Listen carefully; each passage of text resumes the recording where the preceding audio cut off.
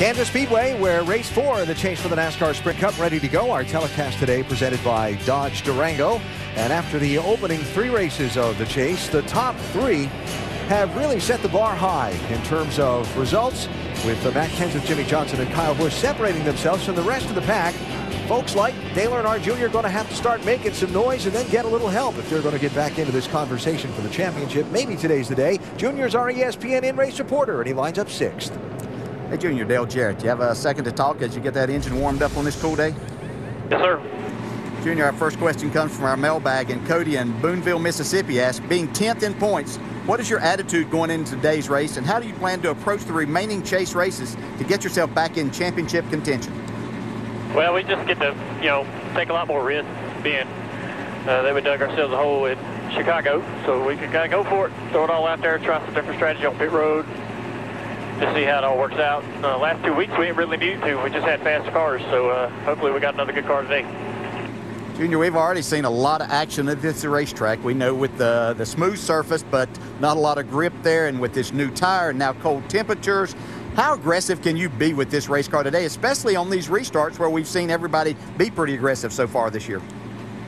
I think you'll just, uh, everybody's going to be real careful this first start, I know, but uh, you'll just work your way up to it. You know, you just get braver and braver each time. And as the track, uh, you know, as we run on the track, uh, the grip will get better and the heat will get into the surface and and uh, it'll get a lot more stable. But it's going to be pretty hairy, I think, this first restart. All right, man. You take care. Have a great day. We'll look forward to talking to you later on. Now, Andy's going to talk to your crew chief, Steve Letarte. Hey, Steve. Andy Petree in the booth. You have us too? Yeah, I got you good, Andy. Hey, Steve. Following up a little bit on what they're talking about there and how tricky this racetrack's been. What can you do with the race car to try to help that to, to where he can be aggressive with it? Well, Andy, I think that's going to be the key to the day. You know, the balance of the race car, it's easier to drive when it's a little bit tight, it's a little bit snug, it's more comfortable, but that sometimes can affect the speed. So I think you need to start good and comfortable, kind of let the track come in, let the driver come in, let you know everybody get in their rhythm, and then compare your speed to the leader and just just adjust it and get more aggressive as the day goes on. Okay, just kind of ease into it and uh, do the best you can, Steve. We appreciate you talking to us. Good luck. Thanks, Andy. My kind of thing. I think I could drive for that, man. I like that uh, get braver and braver as the day goes yes, on with the yeah. car, too. Yeah. Some great high definition onboard views for you today from uh, the race in Kansas. Danica Patrick has our GoDaddy on board. And Kansas Clint Bowyer's got the five hour energy camera.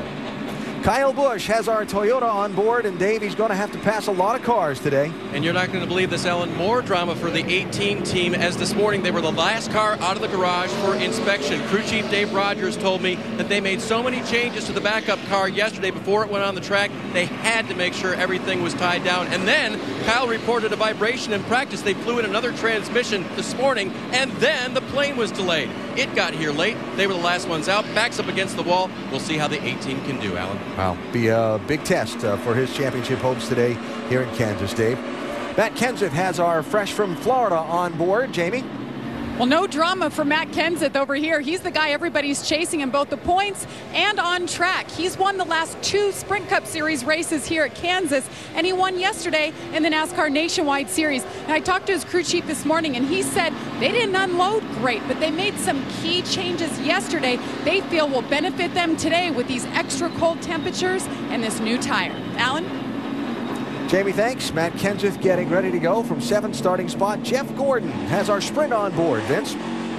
Alan, when you run wide open for as long as they will run wide open today, that puts a lot of stress on these engines. And Gordon's crew chief, Alan Gustafson, told me today that they hope those issues don't affect their team, but he does expect some teams to have engine problems today. They certainly can't afford it on the 24 crew. They're 39 points behind in the championship standings. Alan? Jeff, a two-time winner at this racetrack. Ryan Newman has our Coke onboard camera. And Jimmie Johnson has our Chevy on board. Doc? Well, Alan, you know, everyone knows Jimmie Johnson's nickname is Superman. And, folks, if you look closely enough at the onboard camera shot, you might just see his cape underneath those seatbelts. Now, we all know that Superman's weakness is kryptonite. This year, Jimmie Johnson's weakness has been Kenseth, especially on these mile and a half tracks where Matt's won four times, the Johnson's none. Now, in the chase, four of the last seven races are going to be on this top racetrack. But today it could really set the tone. Is Johnson capable, or has he met his match in mild-mannered Matt? Very nice. We'll find out. Jimmie Johnson lined up third for this race. And our final onboard view with the Goodyear camera rides with Dale Earnhardt Jr., our ESPN in-race reporter. Invite you to check out NASCAR.com slash Race Buddy for enhanced race coverage today from Kansas Speedway with 10 HD live race views, live chat, and live leaderboard. And our aerial coverage for today's race comes to you from Goodyear. Everything we learn making tires that face the grueling demands of NASCAR inspires what we roll into yours. Goodyear, the official tire of NASCAR. Demanding and grueling, certainly fitting descriptions of this Kansas Speedway and the challenge that faces these drivers and teams for 400 miles. Yeah, it really is going to be a challenge. Uh, These drivers really have their hands full today here. And there's nothing wrong with the racetrack, then there's nothing wrong with the tire. It's just a difficult combination between the two that makes their job extremely difficult today. Yeah, I've been challenging for Goodyear to come up with a combination that will live here because this is one of the hardest tracks on that on the tire. Saw Jimmie Johnson behind the wheel of his car a moment ago, and there you see him lined up on the inside of row two. All right, fellas. Beautiful, beautiful day for a race here at Kansas Speedway. Had a great race car, great pit selection, great starting spots. All we got to do out there is go out there and execute today. Jimmie, you guys take care of what needs to happen out there on the racetrack. Be smart, be smooth. Remember, we got to be here at the end of this thing, Jimmie. It's easy to get out there and throw it away early. We've seen it happen before.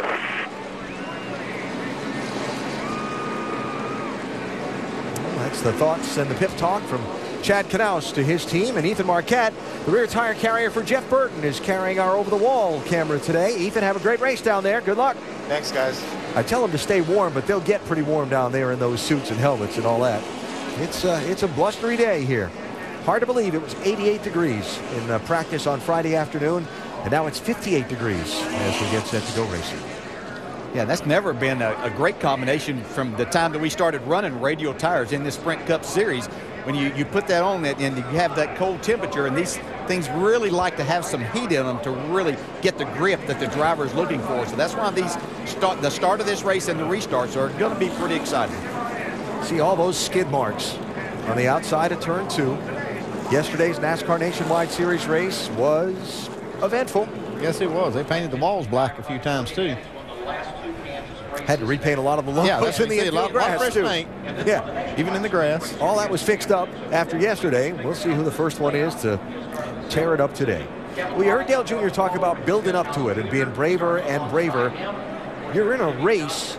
You're going to go sailing off into turn one at 170 something miles an hour anyway. How do you be careful at 170? Yeah, it, it's tough. You know, you just have to. You, you don't want to stretch those limits right off. You know, you want to take it as easy as you can. He, unfortunately for him, he's starting on the outside. He's a little concerned of what grip is going to be there after they had the nationwide race yesterday. So you want to be as careful and hope that everyone around you wants to be that, so you can get this race started on the right foot. Mile and a half track, 267 laps to make up the 400 mile distance today. The fourth race in the chase. A lot of folks saying this could turn out to be as big a wild card as Talladega. Set to go with the Hollywood Casino 400 at Kansas.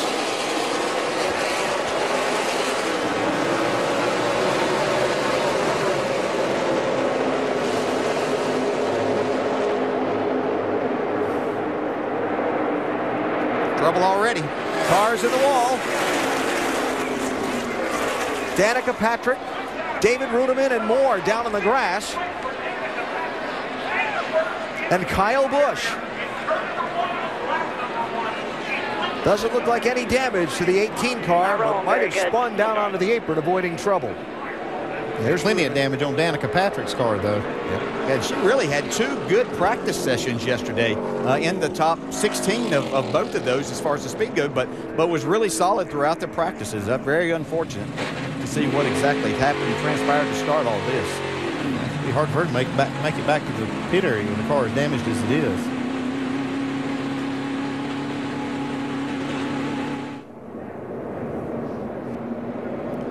Cole Whitt, some damage on the 30. Yeah. That is, uh, that's a very badly damaged race car. Yeah, a hard lick right there. Yeah, it looked like Danica was was basically in the middle of the racetrack. You see, going into turn one, and uh, just made a kind of an erratic move, and the car just jumped jumped out from under. It. Well, very similar to what happened to Kyle Busch on the first lap of practice yesterday morning, although he was able to just maybe hit the side more than, than the front. The car just got loose as she tried to turn down in the corner. Still lined up outside. Three wide middle. Still three middle.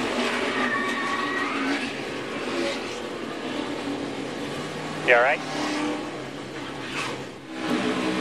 Kyle Busch. Stay low, stay low. Ease up here. Ease up. Get down. Keep coming. I'm not sure if he got maybe tapped from behind or if it's just that. No, I don't think there's nobody behind him, so that didn't happen. It's just this shows you how difficult it is with these cold tires. You try to turn the steering wheel at all, next thing you know, you're out of control. Kyle and his brother Kurt having to start at the back of the line in backup cars after their crashes here. And yeah, that 18 just goes around. You can see he's just starting to try to make his move to miss the accident, and the car gets away from him.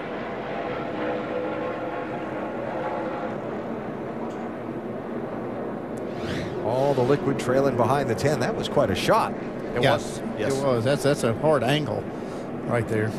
She's okay, but definitely a hard lick.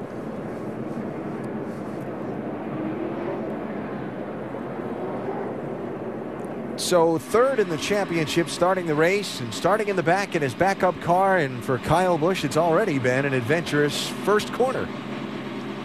It just dumped sideways to the apron and uh, just, you know, uh, and nose first, obviously, so I'm sure it's up. Talking about that front splitter, and yeah. that's so crucial to get sealed off to the ground aerodynamically, maybe being bent up by the car sliding from the banking down onto the flat. Yeah, that's the worst thing you want to see happen is the way that car did come off of that for that splitter. Yeah. You really want that thing to seal down on the racetrack. Yeah, very. I think I he's see- okay though. I'm just looking at that. I, Yeah, see right there, you can see how it moved right there, just as he went down. If you're looking at the 18 Yeah. car, I think he's okay though. I was just watching how that, that how the hood deflected and all the the fender bracing. I believe he'll be okay. You have to take a look at that because that's a big part of this race car handling it all for Kyle Busch today.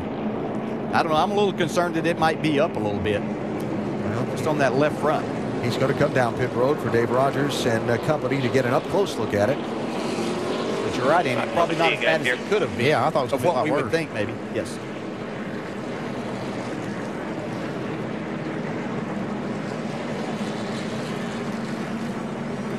While Dave Rogers gets an eye on it, Dave Burns will also. They obviously want to change the four tires, but because Dave Rogers shares your concern about the splitter, they want to get a good look at it while it's in this profile before the Jackman sets it up in an angled position. So they take a good hard look at it. Also, an interesting thing, Kyle was having trouble communicating with them. He says, hey, what happens when I let off the radio after I'm done talking and it beeps? They said it means your battery's dying, man. We're going to change that too. So uh, good. side hood flap tether, get that. Dave We got a Rogers making the bump on calls for him.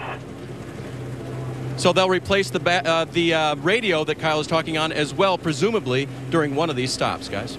And Dave, that radio is down by his left knee there. So you see Kyle literally holding his helmet down so he can look down against that head and neck restraint that he wears to be able to see what he's doing with the radio and the harness. Yeah, it's not an easy adjustment in trying to make anything to where you have to look down because it just won't allow you to, to get there. And it's difficult. If you got gloves on and trying to, to do anything there. So Yeah, a lot like going a, on. Sounds like a detail got overlooked if the battery's dead on the radio to start Well, the they race. got a lot of other Get things that- happening. Do we have time to sit? No, go. Roll, roll, roll.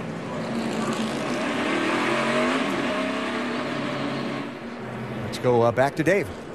You guys talked about details being overlooked. This team is as professional as they come, but they were in a hurry this morning. We talked about the transmission being late.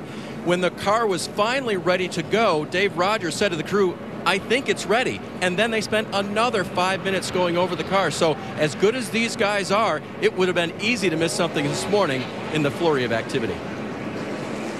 Well, a difficult weekend so far and a difficult start to this race for Kyle Busch after a turn one lap one crash with contact back in the pack, Danica Patrick and others.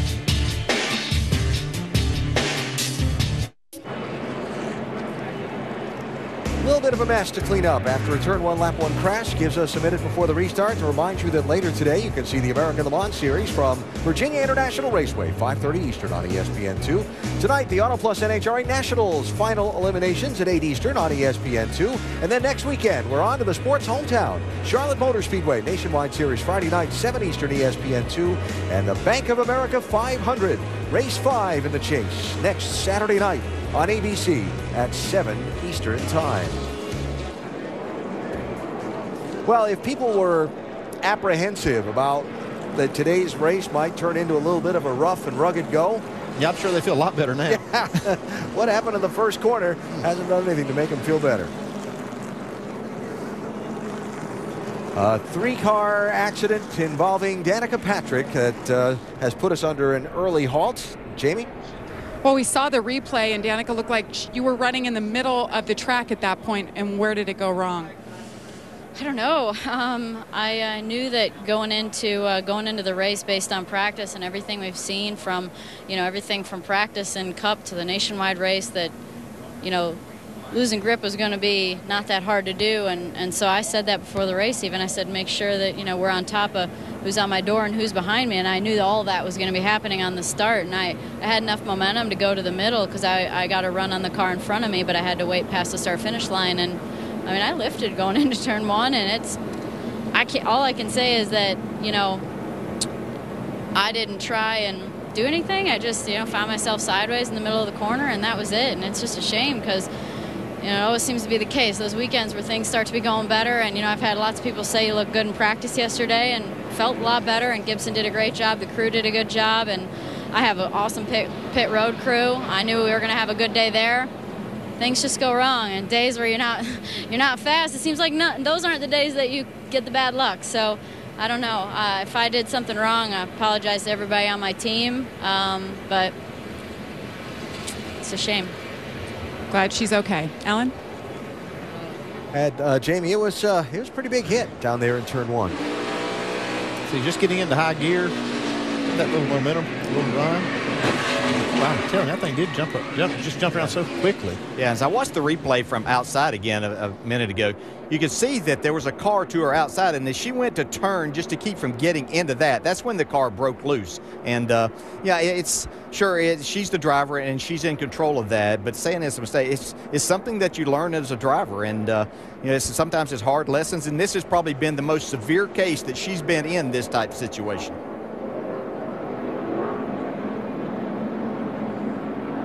Yeah, that was just a, the angle of that impact. You can see just how violent it is. Yeah, and just uh, you can see how well that Hans device works. Uh, that that was mandated by NASCAR a number of years ago, and uh, uh, it certainly helps the drivers in those type of instances. Patrick back in the garage. David Reutimann has also gone back to the garage. Cole Whitt has continued after a couple of trips down the pit road. And Kyle Busch has been on pit road about every lap with his caution flag. KB, you got a radio on me? Can you hear me now? Yeah, it's F4. You got me? Yes, sir. Got you loud and clear. Your left side splitter looks like it might be up a, a hair. Not bad at all. Yeah, uh, it looked like it was going to be okay to me. And as a matter of fact, if it's up, if they can adjust to it, it'll actually be an advantage. In in what way? Well, because if it, if it knocked the splitter up, then they can let take some packer out of the front and let it travel a little bit more.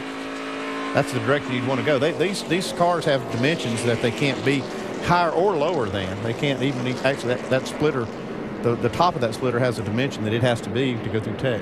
Well, I wish my crew chief would have explained that to me because as a driver, I'm thinking, oh gosh, now this is what I have to deal with. So everything that's going to be wrong with the car today is going to be because you told me that splitter was a little bit on the left front. No, well then I'll start working on it and tell you that hey, it's even better than it was.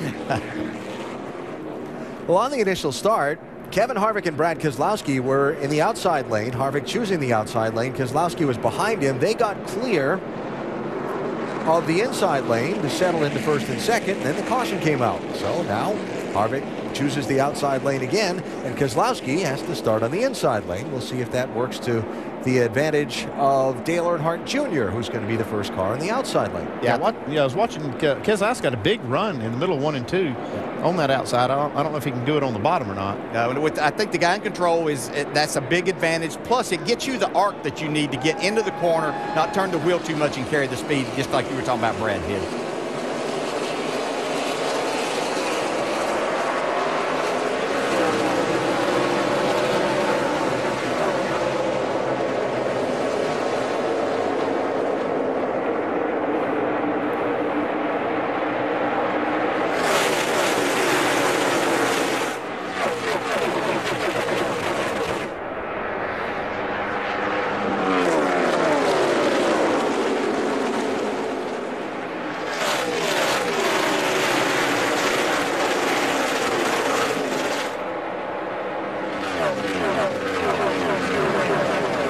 Junior went for the bottom lane, and Menard went around him to the outside to get up to third.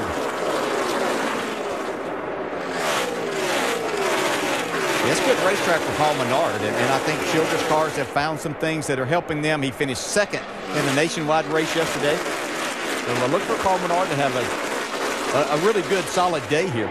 Yeah, talking about driving styles now, this this track really doesn't pay off an aggressive style, but it does pay off uh, that finesse, and I think that's one thing that Paul has. He can really finesse a car through the corner. I think that's why he'll run good today.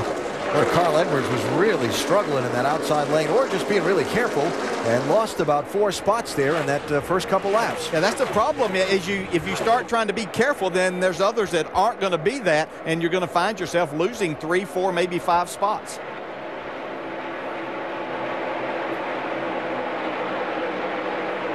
Brad Keselowski, Paul Menard, second and third.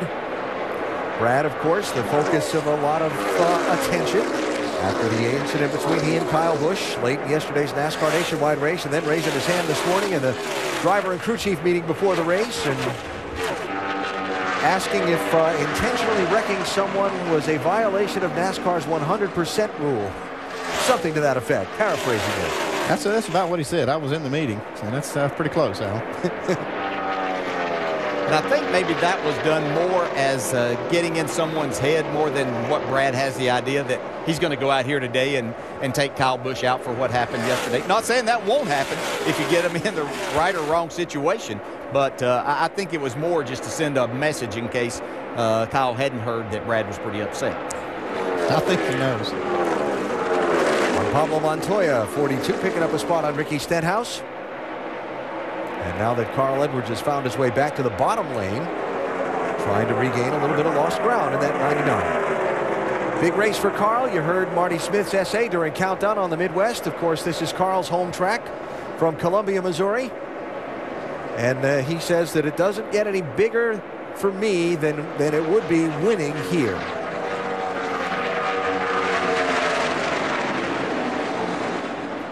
Stenhouse there. He qualified on the pole at Atlanta, fell back some. Kind of done the same thing starting second here today, falling back. See if they can adjust this car for him today. Kevin Harvick started on pole for the first time since 2006 in this race. He's won three of the last six times he started first. Live from Kansas City, Kansas, the fourth race in the chase for the NASCAR Sprint Cup. Our telecast today presented by Dodge Durango. Kevin Harvick started on pole. He's led all of the laps so far. Time for unlimited access to the chase for the NASCAR Sprint Cup with NASCAR Mobile 13 and unlimited talk, text, and data on the Sprint Network. Kurt Busch had a crash yesterday, started in the back with his backup car, and he's making some progress in these opening 22 laps. Get unlimited access to the NASCAR Mobile 13 app with the unlimited My Way plan, guaranteed for life and only from Sprint. See sprint.com slash speed for details. Kurt was aggressive on that restart from the first lap crash. He has been that. I think he'll find these uh, next spots a little more difficult to find getting around them, but uh, looks like the car's pretty decent. But a lot of other people, I believe, are just kind of hanging out, getting a feel, and see exactly what they might have here today. Just cracked the top 20 there with that pass on Mark Martin. Next up, Clint Bowyer. So 78 sure seems to have a good car in these opening laps. Yeah, Clint Bowyer's really kind of struggled most of the most of the practice time that they've had here. Not been happy with it. Yeah, from the time they started their test session on Thursday with this new tire, uh, it's been one that Kurt Busch has been pretty decent, and Clint Bowyer has had his hands full.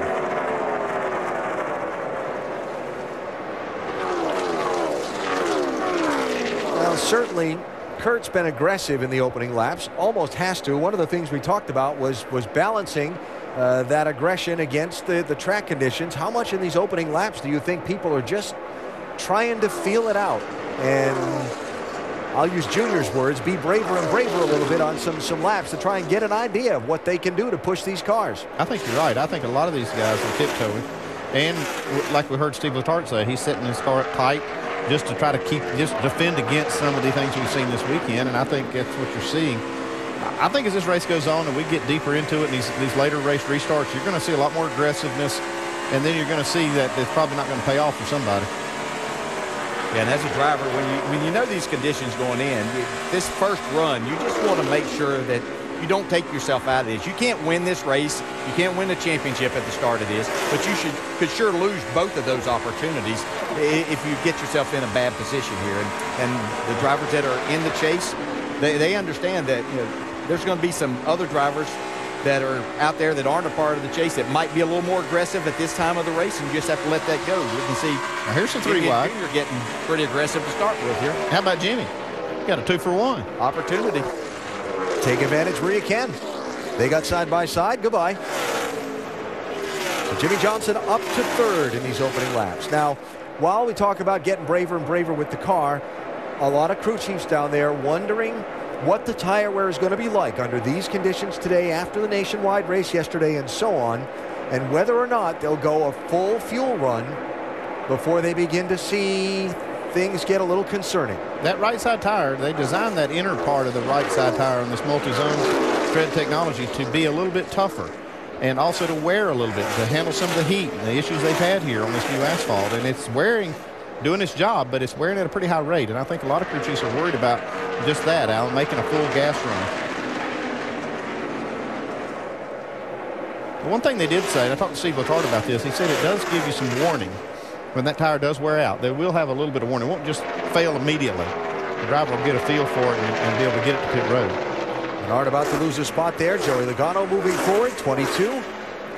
Expect Joey to be pretty solid today. He's been really good on these mile and a half layouts. Remember, he had that great run going to Chicagoland to open the chase and then had the engine failure, which, of course, set his championship uh, in a big hole. And there's Matt Kenseth running seventh. Winner of the last two races at this track. Winner of four times this year on the mile and a half speedways. And right now, just uh, riding it out in the top 10 in the early going, Doc. Yeah, when we visited with Matt prior to the race, he seemed very nervous, normally so. He's normally very patient and relaxed. He seemed nervous before getting in the car. Let's listen into his radio. It's uh, unpredictable loose accident, especially in dirty air. Balance good. I'm just uh, a little loose in, loose off. I just feel like there's nothing to lean on right now. So Matt is just saying basically there is no grip out here. He said, and the car is unpredictable. And he's having to be very patient and basically take his time until we can get some more rubber down and maybe get some temperature in the racetrack.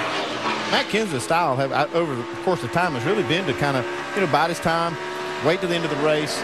But lately we've seen him be very aggressive and try to lead a lot of laps. Uh, but I think you're going to see the little bit of the old Matt Kenseth today because he knows just how twitchy these cars are, and I don't think he's going to make a big charge to the front yet.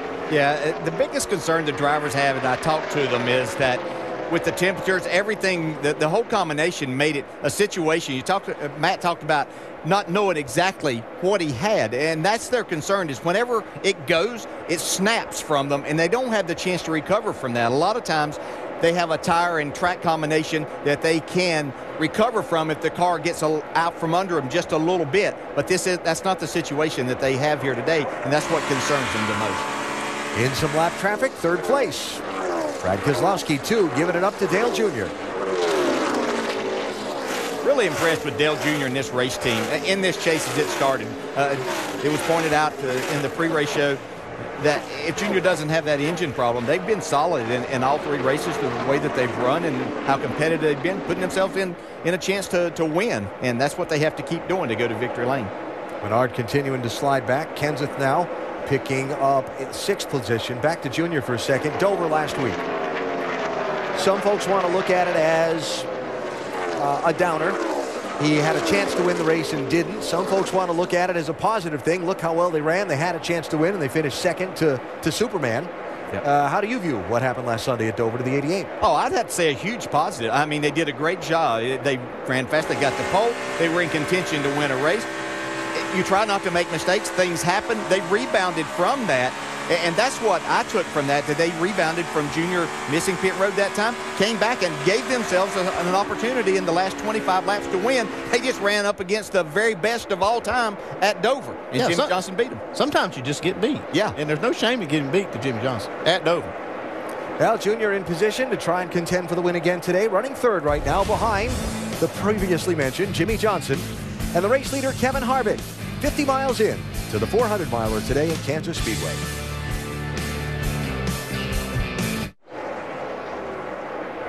Couple interesting developments in the last couple of moments here at Kansas Speedway. In race four in the chase for the NASCAR Sprint Cup, Kevin Harvick's lead is shrinking. Jimmie Johnson is closing in on him from second. There it is. Johnson, after getting around Dale Jr. and Brad Keselowski to move up to second, is beginning to track down the man who's led all the laps so far. Other development, Brad Keselowski, I just mentioned being passed, was on pit road under the green flag a moment ago. And caution is coming out. Got a car off the pace, turn three. Michael McDowell. Does he have a tire down? Sure looks like it. Looks like he's got a tire down, possibly into the wall a little bit. Maybe just the tire down.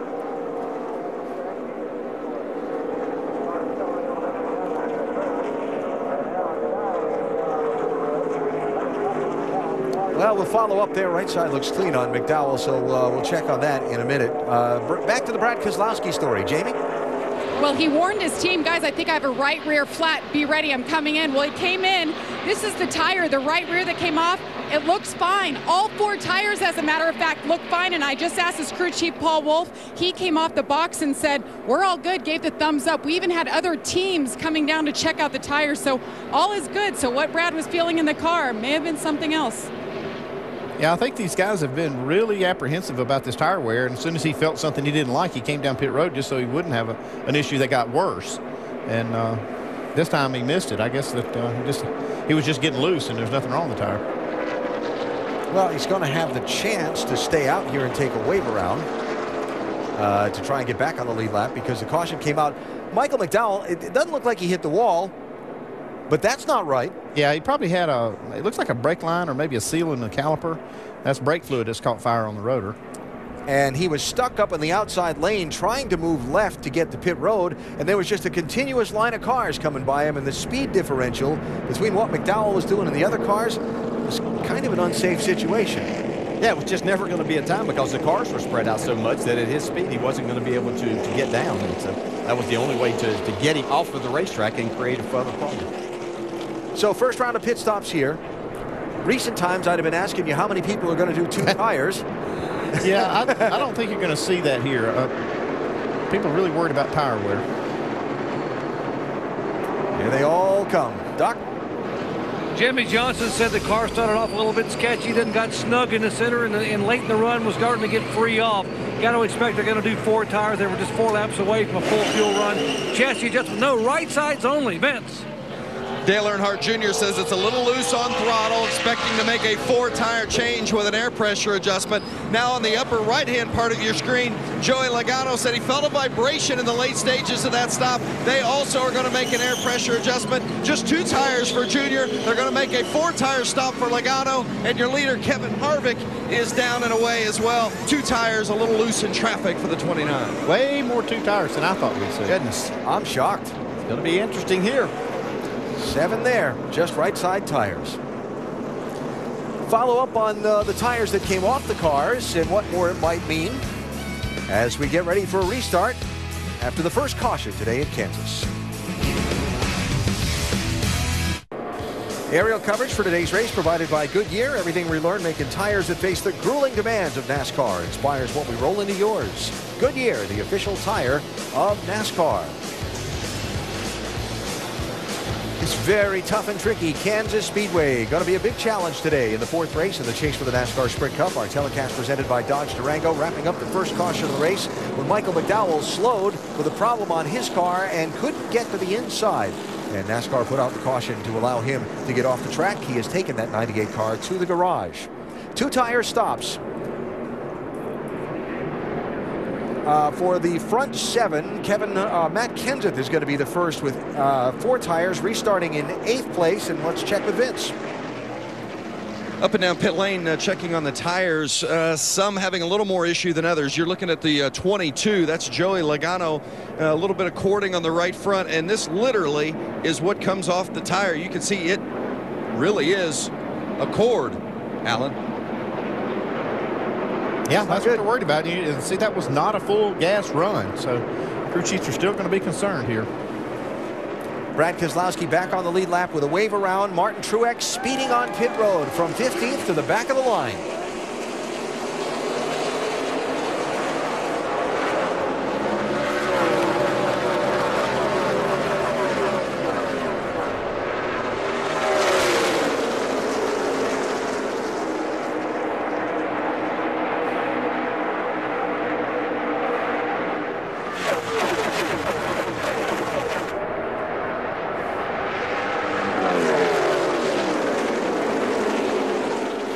Oh, whoa, Kurt Busch. I tell you, he went in that corner hard, and that thing did not stick. Could have turned out a lot worse. Yeah, I'm surprised it didn't. Good save. My concern with putting two tires on with this, at what we already are seeing with that right side tire, is your left is already going to be giving up grip as we see Matt Kenseth trying to make his way forward here. But it's going to then it overworks the rights even more because that's where all of your grip has to come from right now. And they obviously don't need to have any more working than what they already have. And yesterday, we had a different tire on the Nationwide Series, but yesterday we did see some left side tires giving trouble. Evidently, they're not too worried about the left sides here. Matt Kenseth moves into the top five, though, with his four tire. So rights only on the pit stops for Kevin Harvick, Jimmie Johnson, Dale Jr., Jeff Gordon, Aric Almirola, Ricky Stenhouse, and Brian Vickers. Kenseth was the first with four, restarted eighth, up to fifth. And Vickers slid back in the first couple of laps from 8th to 13th when he had a little trouble getting off in turn two in the middle of uh, an aggressive swarm. Aric Almirola and Richard Petty's 43. This has been a really good track for him. He was a factor in this race a year ago and then had a couple of flat tires. Something got in rubbing the, one of the tires, ended up spinning out and uh, lost a couple laps on pit road and didn't get the finish that really he deserved the way he had been running. Yeah, he was extremely fast throughout that entire day, leading laps and running right up front, but didn't work out. Jeff Gordon made a huge jump and was running just outside the top 10 before they pitted. See how this uh, works out if they're able to hold this track position. There's a group that's really been running well. Yeah. They've been very solid throughout the chase. Uh, even before that, to, to, work themselves into to chase position, uh, they had to have some really good runs for about five races before that. Yeah, they've had fast cars really all year long. They just had a lot of problems getting to the finish, executing. They've started to do some of that lately and, and getting the finishes they deserve. The what if, the New Hampshire race, where he slid through his pit, they had to back up, and he went from contending for the win to finishing in 15th, and that's really been the big setback and uh, and momentum halter in the early part of the chase. Otherwise, Jeff's been, uh, like you said, you know, great cars running up front. Uh, finished sixth at Chicago, overcame a flat tire, finished uh, fourth last week at Dover. And that sixth place finish at Chicago, it was at Chicago was sixth. That that was not really the way he ran. He ran better than that.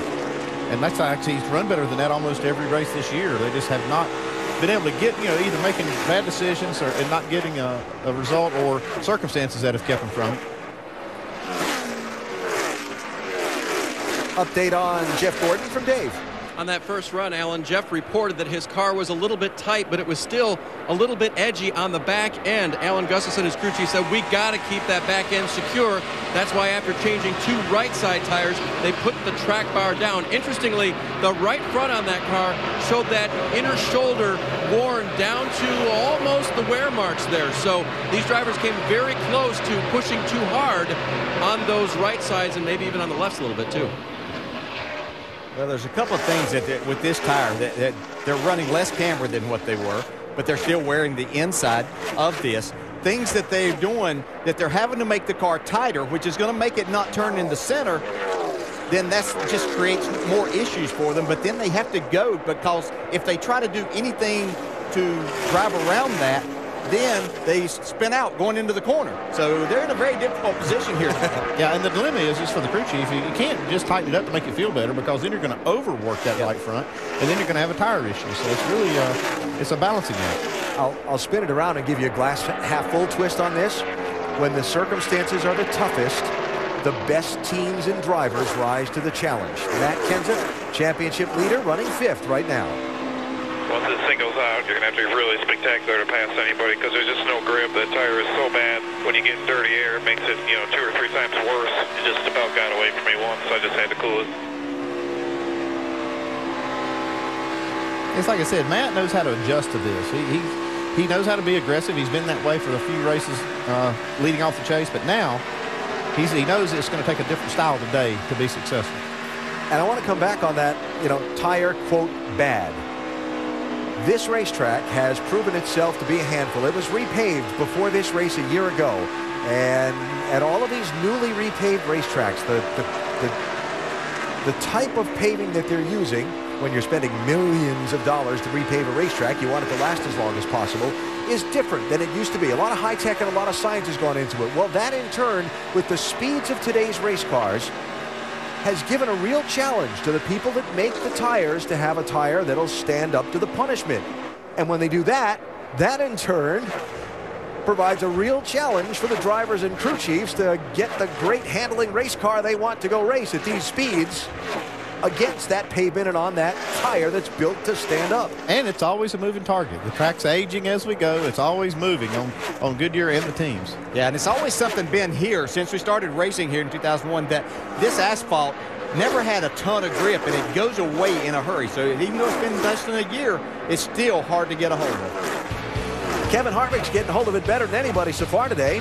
Started on pole and has led all the laps here at Kansas. Quick reminder, stay tuned for our NASCAR nonstop coverage during the second half of today's Kansas race presented by Quicken Loans. Race for the lead, Kevin Harvick out in front of a closing Dale Earnhardt Jr. by about four or five car lengths. Yeah, Jeff Gordon and Jimmie Johnson closing in on them. Yeah, he's got a few of his buddies coming up join the party. Yeah, interesting to watch all four of these uh, driving styles. The 29 and 88 kind of doing the same thing. Looks like they're rolling out a little bit early, and then they really go through, get off the corner well, where the 24 and 48 kind of charging the corner, going through the middle faster. But uh, working really well for Kevin Harvick, Vince. Yeah, Harvick says he feels it a little different this run with the front end of the car, particularly the right front. Feels like he's wearing the tires heavier on this particular run. Gil Martin says they'll look to pit at about lap 81. Exactly what I was saying earlier that I was concerned about, that Yeah. when you give up, you've got those left sides that aren't going to grip as well. That means they're going to be dependent on something, and that's those right side tires. Harvick and uh, the guys chasing him changing just the right sides on the uh, only set of pit stops we've had, which happened at lap 44. Third place here.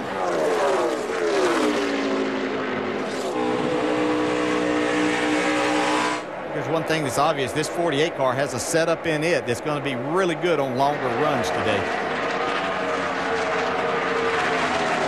Down to a shootout at the end. I'm sure he'll probably be okay in that. We haven't seen that speed at the beginning of the run yet, but really seeing after 20, 25 laps, doesn't give up much.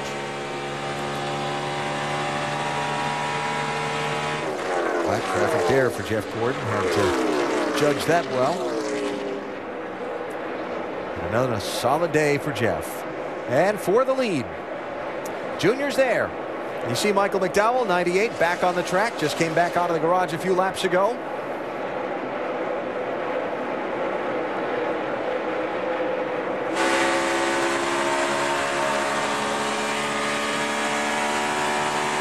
Watch Dale Jr. here as he's been catching Harvick a little bit. Move his car around on the racetrack to where he can get as much of the air on the nose as he possibly can instead of following in. Yeah, you got trash under I can see it here.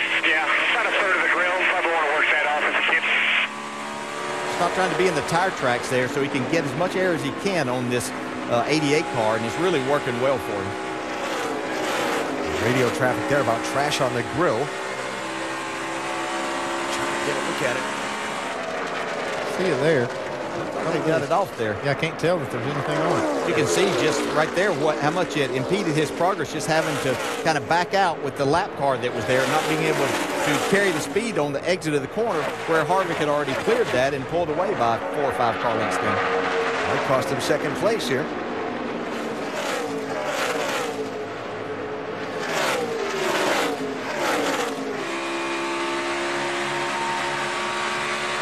Have a spell that you went through in your career where you hadn't won in a while?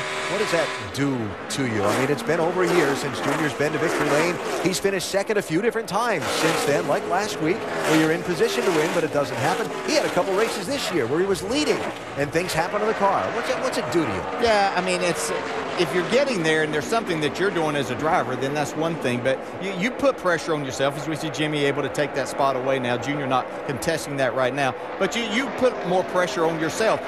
It comes from the outside. You don't let that worry you. It's that competitor that's inside of you that wants to win so badly. You keep putting yourself there, you know the odds are going to go in your favor to win. So Junior back to third. Jimmie Johnson, last week's winner, up to the number two spot. They're all still chasing Kevin Harvick as we're across 100 miles. Today's Hollywood Casino 400, race four in the chase for the NASCAR Sprint Cup from Kansas.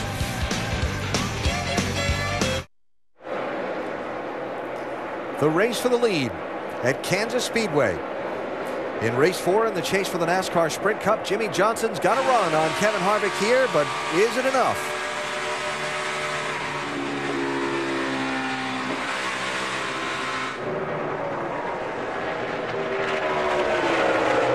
Harvick doesn't want to give it up.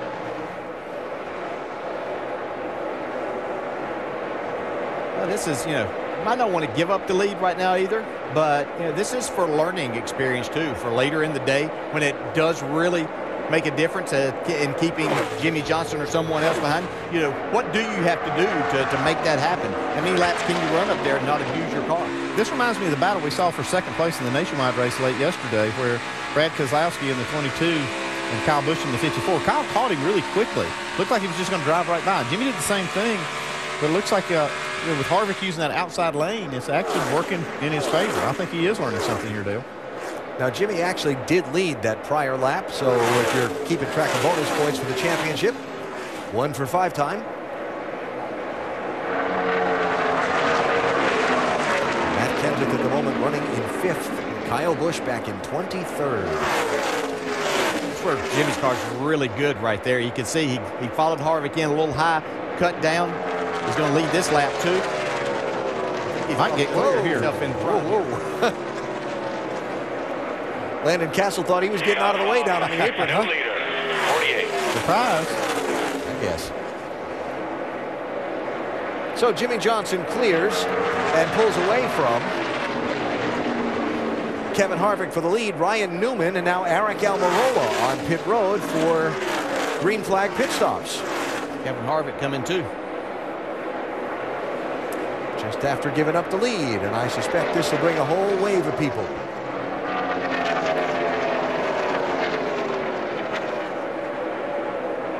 Forty-five mile an hour pit road speed limit here. Mark Truex already showed us you don't want to get a speeding penalty and give up all that track position. Here he is, Vince. Kevin Harvick, he's already won twice this season. He's been the dominant car throughout the early stages of this race. They took right sides only on the first pit stop. This stop, it's a four-tire change. The balance of the car has been pretty good. Kevin's just trying to take care of those right fronts. Let's go to Dave. Jeff Gordon had been running in the fourth position. He said the car was a little bit tighter on this run, so they're going to make a track bar adjustment, raise that just a little bit to try to help Jeff with the turn in the corner. Other than that, it's been pretty good for Jeff. One thing about this car this weekend, very consistent according to the crew chief. No surprising snaps for the driver so far, and he's doing a great job today at Kansas Speedway. Sunoco fuel in, they'll go to the left side and finish up. AB?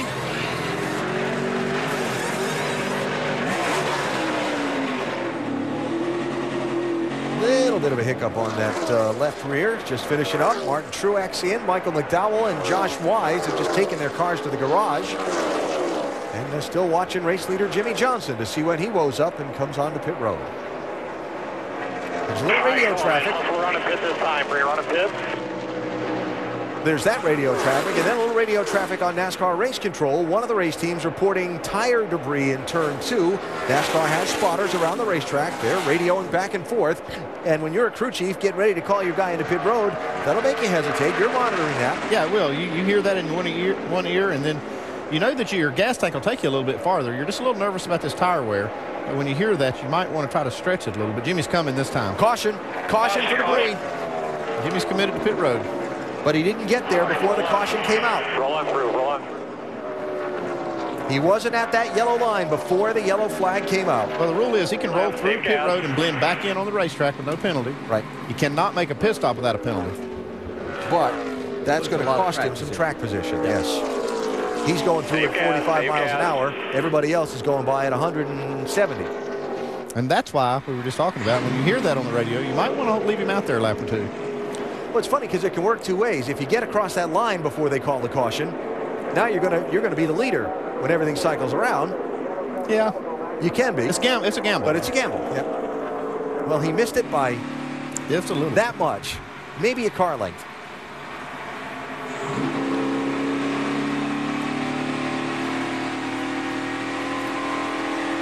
Pitting this time, pitting this time. So second caution of the race. Dale Jr. now the leader. And here they come to the pit road.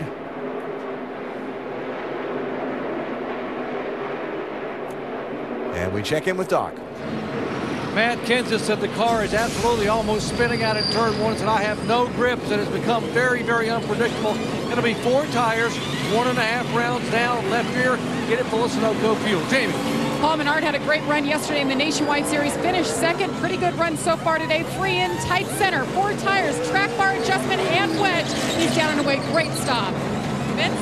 Yeah, Earnhardt Jr. just a hair tight, needs to work on the entry. Slight air pressure adjustment, four tire change. Joey Logano, Logano just really free off. Again, a four tire change for the 22 as they race off pit road. Check our Pep Boys race off pit road. Junior's team going to hang on to the lead.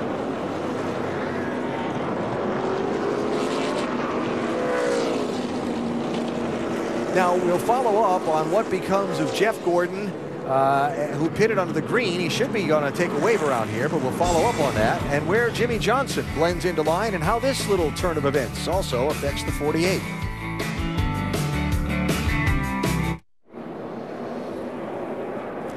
Doubling up for the restart at Kansas Speedway after caution that came out just after a few started to trickle to the pit lane. And one got caught just before getting across that scoring line where he could have made his pit stop. Jimmie Johnson had been called to the pit road while they were going back and forth on the NASCAR radio about possible debris. Yeah, you can see the green light right here. That's what he, he's uh, kind of keying off of. You see he drops to the apron and the race is green, and all of a sudden it goes caution. Looked like he had plenty of time maybe to to uh, to turn the car back out on the racetrack. You can see on the left side there the for the pit road light that it had gone to yellow. And once that happens and he wasn't across that yellow line, then he can't stop without a penalty. Can't stop in his pit box, Yeah, so he has yes. to just drive right through. And Jimmie Johnson is going to go from being in the race lead back to 17th place. All right, man. That was good heads up. That was good heads up, Jimmy. Didn't know what to do. You did exactly what you were supposed to do. You did exactly what you're supposed to do. Just follow direction to that point. You did great. They, there was nothing you could do. You were committed. Passing through was the only thing we could do. If we just stopped in our box, we'd been. Agreed. Now, the other one's caught by the caution flag. Kevin Harvick, Jeff Gordon, Aric Almirola, Ryan Newman, Jeff Burton had all just pitted under green. Well, they all got caught a lap down by the yellow, just had to take a wave around. So Harvick's going to go basically from the front few cars to 25th place.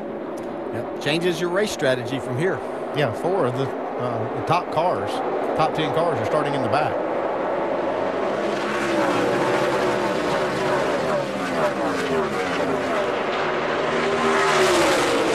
So Earnhardt Jr. and Matt Kenseth racing for the lead on the restart, and Kenseth clears Jr. in two. Paul Menard, that neon car had some trouble getting up off the corner there. Look at him swarm him now. Yeah, stacks everybody up behind him. Oh, Brian Vickers up out of the groove a little bit there. That's the problem on these restarts is somebody has a little hiccup. There's not a lot of room for him to catch it without bottling everybody up behind him. Are they getting braver and braver here? I think Uh, they're starting to just step it up a little bit, but you got to be careful. We can see when you try to be aggressive, things are going to happen. And one problem, just like we saw Kyle Busch earlier on in the race, as they go three wide down into turn three, But if, if, and this happened to Kurt Busch yesterday. When something happens in front of you and you have to get on the brakes or turn your car, it jumps out from underneath you then too. So that's why when these things get bottled up like that and you try to take an evasive action, you can find yourself spinning with nothing else happening. So Jimmie Johnson in a hurry to make up some ground from being trapped back in 17th place, Doc. And remember, Jimmie only changed right side tires on that very first stop, which gave him some added track position, he and six others. And so he had 88 laps on the left side tires. When he came down pit road a moment ago, the left front tire did have some cords showing on the inside shoulder.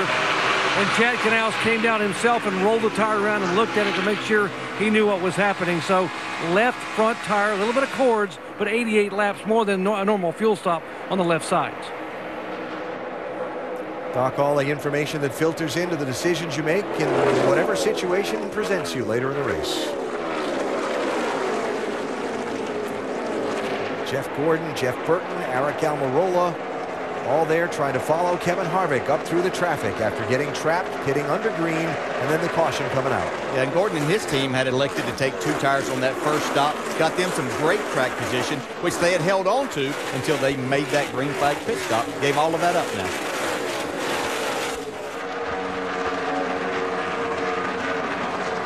Jeff Gordon running back in 26th place, Dave.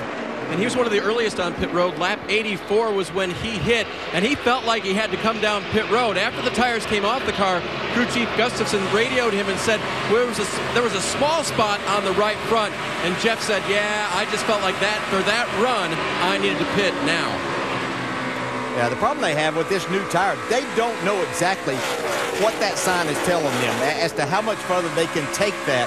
And so anything that they're feeling here, especially early on, till they know exactly what they can do, is going to be, they're going to err to the, the side of caution for this uh, first half of the race. 39 Ryan Newman there, another one. Same boat, hit it under the green. Caution came out, had to take the wave around. Trying to dig back some of the lost track position.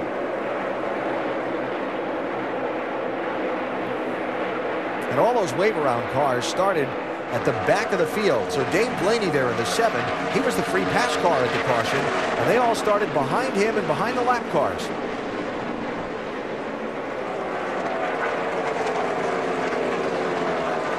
So just now, getting up through the traffic to the point where they're actually picking up positions in the running order.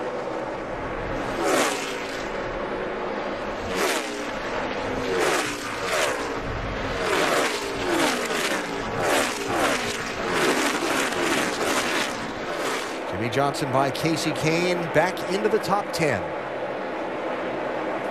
Yeah, this 48 car is showing that it might be you know, the car to beat today. I know Harvick's led a lot of laps, and he's going to have a, a, good car on probably the shorter run, but any green flag racing day, this 48 car is going to be the, the car and team to beat. And even though they had those cords showing on that left front tire after 88 laps, they still had the fastest car in that long run. Jimmie running back there now in 10th place while Matt Kenseth, one of his closest rivals for this championship, is the race leader. And Kyle Busch is back in 19th place. There is Kenseth. Now out in front, trying to win a third straight event here at Kansas. NASCAR.com slash Race Buddy has enhanced race coverage from Kansas Speedway today. 10 HD live race views, live chat, and live leaderboard. 150 miles in. Kenseth at Kansas again. 107 laps complete here at Kansas Speedway with Matt Kenseth out front. You know, he's led 231 laps coming into this race. He's been out front now 16 laps today. It should certainly be a sight that we are used to seeing so far in the chase. Hello from inside the Quicken Loans ESPN Pit Studio. I'm Nicole with Brad, Rusty, and Ray. Let's take a quick five-hour energy rapid recap of what we have seen so far today. Crash on lap one with Danica Patrick, but Kyle Busch in the 18 started 42nd after a backup car forced him to the back of the field and was caught up a little bit in this one. Yeah, just a little bit. There's some concern that his left front splitter might be bent up just a little bit. The crew doesn't look too concerned now. The car's running better and better. He's working himself up in the field a little bit. It's up to 20th right now. Tire wear Big concern today. Yeah, it was a concern earlier in the day, but it should get better. The longer we run and a little bit more rubber gets down, that and these teams know how to manage this tire wear too. They'll be talking to their drivers about how hard to push, but balance is going to be critical. You don't want to be on the right front or right rear. You want to be using them both today. Should get better. In fact, we actually heard drivers on their last pit stop getting reports that the tire wear was indeed better just after the second stop. Team's getting more and more comfortable as the day wears on. Like these guys are saying, the, the balance is getting a lot better. Should get a little bit better as we go throughout the day. Alan? Nicole, thanks. Jimmie Johnson continuing to pick his way back from getting caught coming to pit road by that caution flag, passing Paul Menard, and Johnson up to sixth place. You better hope he doesn't get any better. he's about as good as he needs to be right now. Just passing cars as he catches them. Yeah, that's been tough. I've watched, uh, like even Kevin Harvick had a great car, and he's not been able to move forward too much in this run like we've seen Jimmie Johnson. He's actually stuck behind Kyle Busch right now, but, but Johnson can pass him at will.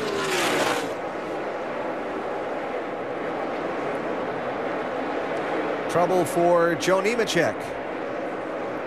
Some smoke was trailing behind that car, is trailing from behind that car. A lot of smoke now. Caution for Liquid and another one in trouble. Looks like a couple of engines maybe. Landon Cassill. Motor.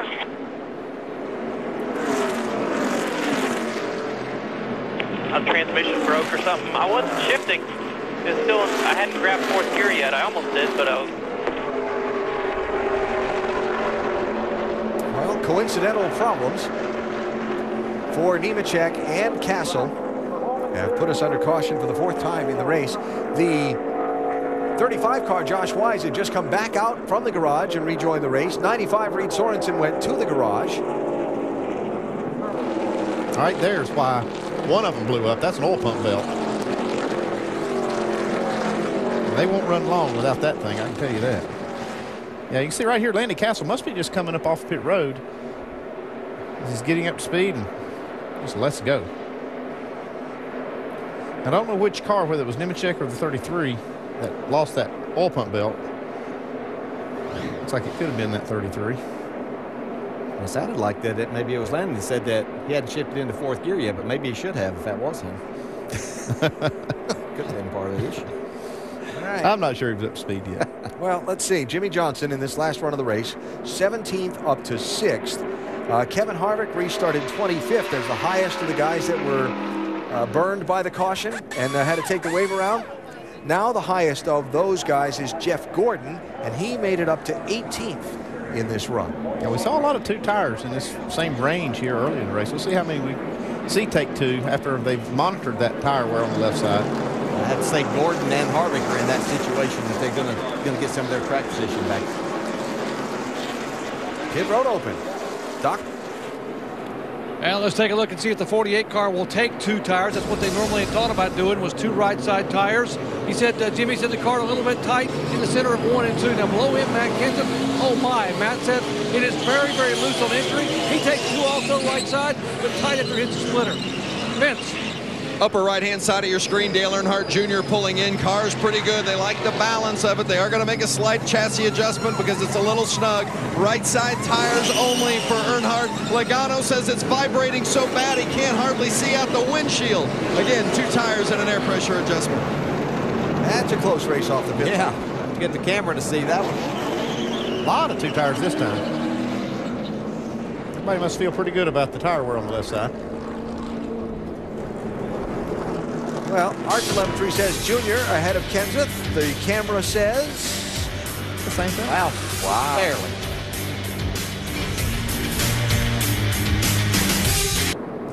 Little less than two laps before the restart after a caution here in today's NASCAR Sprint Cup Series 400 miler telecast presented by Dodge Durango. Uh, race off pit road, Dale Earnhardt Jr. is the new leader. He coincidentally is our ESPN in-race reporter on the day. Let's uh, see if we can talk to him. Hey, Junior, Dale Jarrett, okay to talk? Sir. Well, I know from our vantage point up here, uh, looks like you've got an awfully good car again. Uh, how are things going inside there? Yeah, the car's real good. Um, we were you know, a little bit loose on exit, a little bit tight first half of the corner, but the balance kind of moves around as the run goes. But, uh, yeah, Time Warner Cable Chevrolet's been up front, and uh, Steve's got some good strategy to try to keep us there. Hopefully we'll get a shot at this thing. They've got some laps on the racetrack, a little over 100 done now. Any change in the, the track surface and conditions so far? No, this, this tire's having a little hard time rubbering the track up. So uh, I think uh, this track wants to do, uh, you know, once the second groove, we'll get a, you know, get a tire that uh, that gets a little more rubber down. We'll probably do that. Okay, we're having fun watching you. Keep going strong, buddy. Simple. One to go. Thank you. So Dale Earnhardt Jr. will lead this field of the restart in one more lap. Free Spirits chronicles the story of the Spirits of St. Louis, a colorful ABA franchise featuring players like Marvin Bad News Barnes and James Fly Williams. And among the subjects discussed, the contract that the co-owners struck for the failed franchise that's proven to be lucrative to this day. 30 for 30 Free Spirits presented by Buick, Tuesday at 8 Eastern on ESPN and live on Watch ESPN.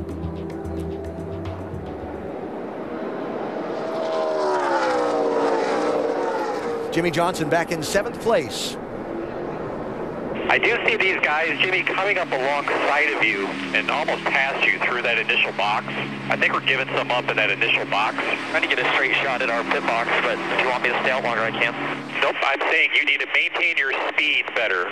They're passing us. I'm on my lights. Okay. I mean, he's having to slow down to get in his box, make sure that he doesn't drive through it or anything like that, or get a speeding penalty. You crew chief thinks all that's easy. you think it's easy sitting on that box? All you can do is go by the lights that they Yeah. show you to set and everything. Well, he's just trying to help him a little bit. Maybe save just a second or two. So competitive in there. Yeah, what you get do, everything. What you do is you just tell him what you see. You know, it's up to Jimmie to make that adjustment and whether it's going to get him in trouble or not. Junior with Kenseth to his inside for the restart.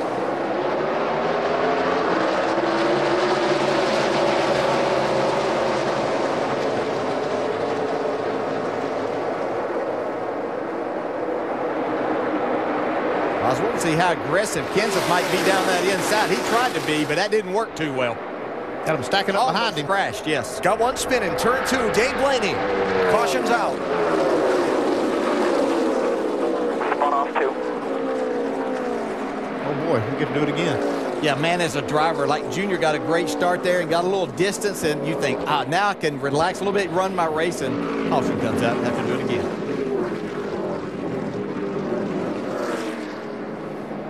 Now, Dave Blaney was on the lead lap in 28th place. Now he's got that uh, support piece from the roof flap hanging out after he got uh, turned around off of turn number two. See right there, and Blaney comes in the picture. He's already out of control. Yeah, he's in no man's land up there. And not uh, talk about how little grips down in the groove. There's none up there.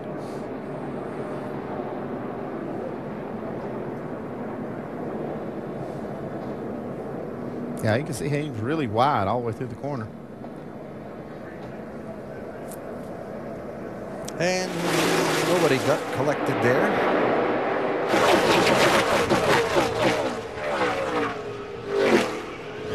Which was a good thing, and uh, Dave didn't hit anything, so that's another good thing. Uh, free pass on the last caution, trying to catch up on things here, was Martin Truex that got him back on the lead lap. A.J. Allmendinger gets the free pass here. He gets back on the lead lap, and don't expect to see any of the front runners in here unless somebody's really pulling a different strategy move. Time to go NASCAR nonstop. Presented today by Quicken Loans.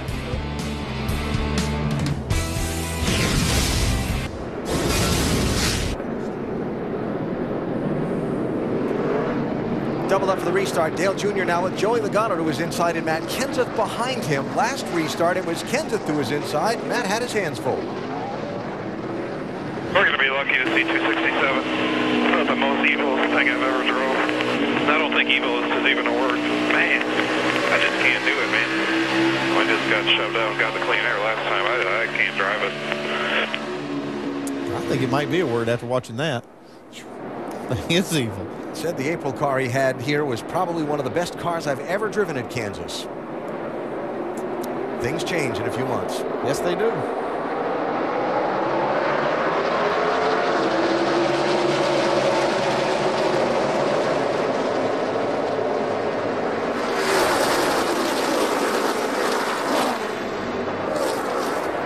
Logano trying to make that inside work and does.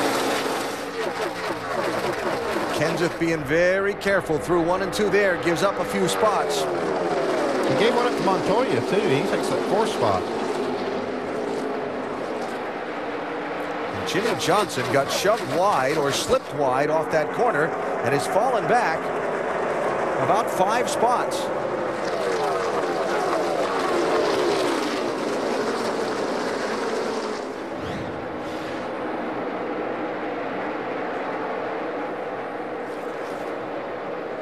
Wow. No contact, but it just uh, just took the air off the rear. And uh, Kurt Busch in the 78 right up underneath that quarter panel. And still just kind of filling the thing out through this where we've seen him be. I, I don't think these restarts are the, the strongest point for this car. Another one I've seen struggling back through there is Kyle Busch. Had his hands full in these restarts too. This is the car coming alive right here, though, Montoya. Passing Denny Hamlin for third place.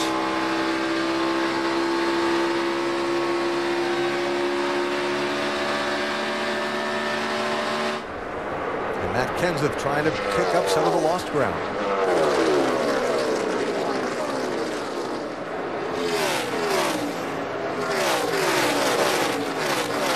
Matt was talking about when he got shoved out into clean air, his car ran okay. But uh, back in the, the, traffic on the restarts, he had his hands full. It was evilist. Uh, here now, things have sorted out a little bit, single file. Maybe it's a little more manageable. Maybe. When he was leading the race, we heard a couple of radio communications, and, and Jerry Punch was, was saying that this car still wasn't his liking, even when he was out front. It was he was loose going into the corner. Doc, this is not a very happy driver today, even though he's running in the top five. And, and, normally Matt is not very animated, as you know, DJ on the radio. He's normally very calm and composed, but today you could hear what he said, the evilist. He said the car seems to be okay for six or eight laps after he gets away from all the turbulent air on the restart. Then about lap seven or eight, he just starts becoming unpredictable. He said it gets very loose on entry. It bounces on the splitter a time or two. Then it won't turn. It gets tired. He said it takes about six or seven laps for it to happen. But then he said, I just got my hands full. He was just hanging on before the caution came out the last time just to be able to get on the pit road. Got his hands full as the points leader. Kasey Kahne five, Brad Keselowski two for a spot. Remember, Keselowski pitted under green early in the race while running well and then got trapped by a caution, had to take a wave around, lost all of his track position. Yeah, his car hasn't been that good either. We saw it. He strike out right at the beginning of the race. Looked like he was going to be real strong, but then started fading. Actually, thought he had something wrong with the right rear tire. It was so loose, they made a pit stop and they didn't find anything. It was fourth when he pitted earlier.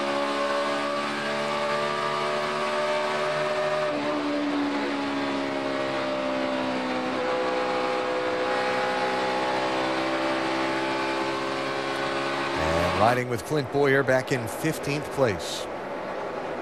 Right behind Clint, Kevin Harvick. 29 car. Kevin started on pole and led all the one of the first 81 laps, Vince. Then after giving up the lead to Jimmie Johnson, hit it under green, got caught by a caution flag, and he's been trying to dig out of that hole ever since.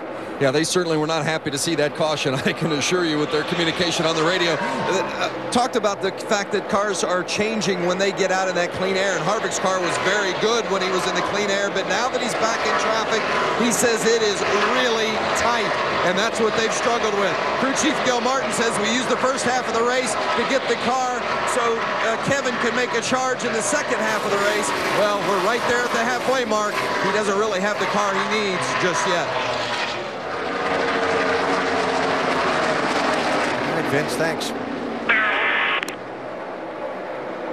I think it's another case of that clean air just kind of heals all the, the you know, the, the things that the car is doing wrong. Kevin Harvick, when he was leading, he was pretty good, but then once he gets back in traffic, his car's not very good at all. And one thing that I am seeing that a lot of these drivers and teams that are taking the two tires, if that gets you track position up in those top six or seven cars, those two tires work well. If you're back further than that, then where you're having to really try to move forward and pass doesn't work nearly as well for those cars, and they really seem to struggle. Seeing tires or cars that got four tires that maybe weren't as good as some of those cars, passing them now.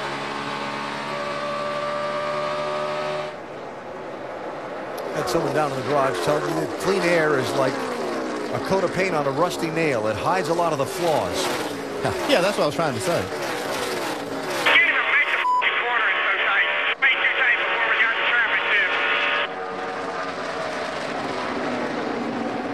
And on a day when conditions are tricky, the frustration's going to begin to show for a lot of these drivers. Yeah, and the other thing that makes it difficult, bouncing back and forth between two tires and four tires, making adjustments there, trying to adjust to whichever one you have, can be a tricky situation too, Andy. Yeah, it can. And then the other thing is, is that, you know, that he started out tight, I'm sure. Just like we heard Steve Letarte say, they were going to start their car out tight. But it was going to cost them some speed. I think that's what they did. They, they really paid off early in the race. I think they need to start freeing it up, and they've been reluctant to do that because we've seen so many problems.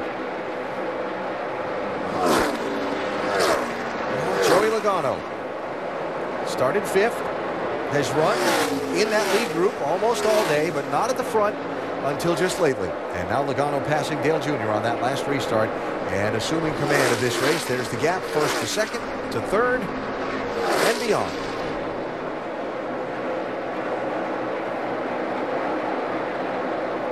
And from Montoya back to the championship leader, Matt Kenseth, hanging in there in fourth place. Jimmie Johnson running back in 10th. Kyle Busch is running back in 26th place. The, uh, the quick take on the championship picture at this point. Pretty solid drive by Denny Hamlin. Maybe the best we've seen in a long time from this 11 car thus far. Yeah, we've seen them uh, throughout the year at times qualify up front and be there for a little while, but always seem to fade. Today, they seem to be going in the right direction, Jamie. They have been, and I talked to them earlier today, and they said the car has been good this weekend. They were a little loose and a little tight, but they thought they found a nice balance. Denny said it's been pretty good for the most part, a little edgy at times, but the biggest part is that he started getting a series of injections in his back to help the pain a couple of weeks back. He said he's like a new person, like his old so he was looking forward to making a charge in these final races, and their goal was to get top 10. And we have a big crash on the on the track. We'll go back upstairs to Alan. A couple of them. That's Justin Allgaier in the 51 and Ryan Newman in the 39.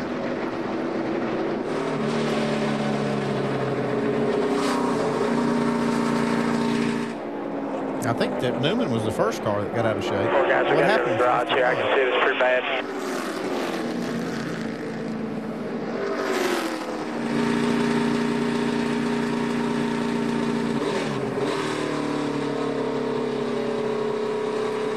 Guys ready to change tires first. It's going to be down and flat.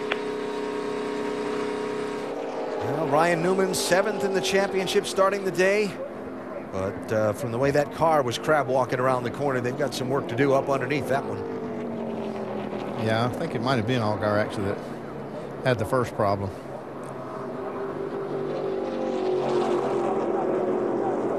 There is Justin. It looks like he may have blown a tire. See Allgaier right here coming through the middle of the corner. And watch this. He just goes. Well, no, it wasn't a tire. Actually, That's it's got just getting loose, yeah, as he tried to correct. And Newman, wrong place, wrong time.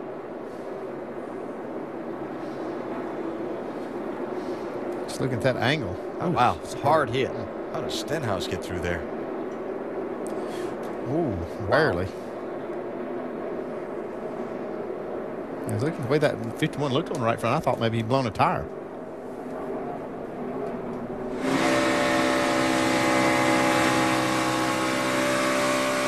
Drivers talked about. They just. Outside, slow top, slow top.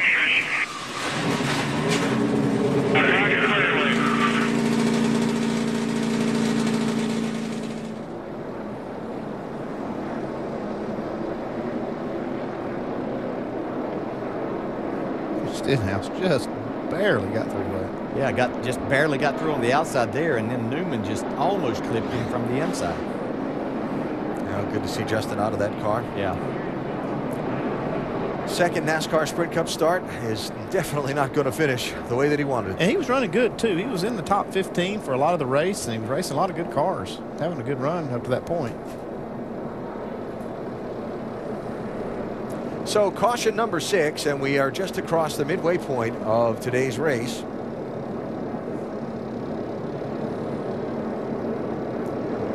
And if you like circumstance or, or uh, your numerology, there were 14 cautions in this race last year, and the sixth of them came out on the exact same lap as the sixth caution in today's race did. So this is probably not the last one. it's probably not, no. Like deja vu all over again. Somebody said that. You could say that if your name was Yogi. Yeah. But your name's not. So it's not. so we'll give him the credit for the save. Yeah. Free pass going to go to Timmy Hill on this caution flag, and the pit road's going to be open here. So we'll see what we see. Everybody was in at lap 113. Reason I think we may see some more cars. We talked. We heard these a lot of these drivers talk about their cars tight as they start to free these things up, thinking that they've got it a little more under control. Then they get out of control.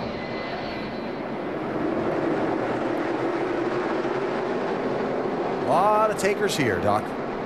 Yeah, Matt Kenseth a moment ago told Jason Ratcliff said in dirty air it's undrivable loose, and I don't know what to tell you, what to raise or what to lower, but we got to do something.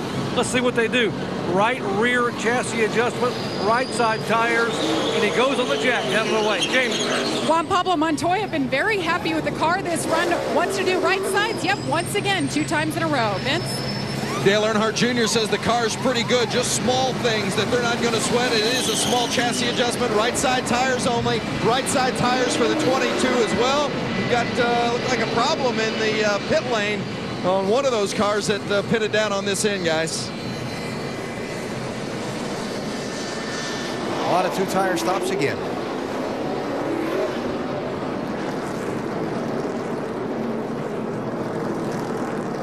And a pit road speeding penalty for Matt Kenseth.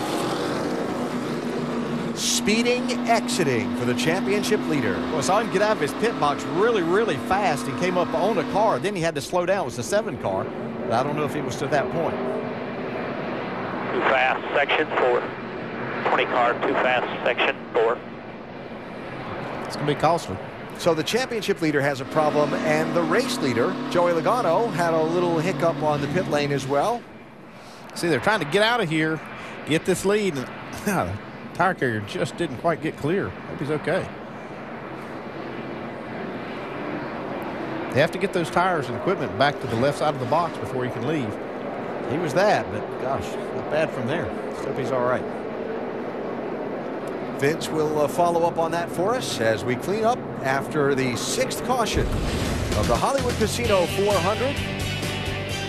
Not a good day for Ryan Newman or Justin Allgaier.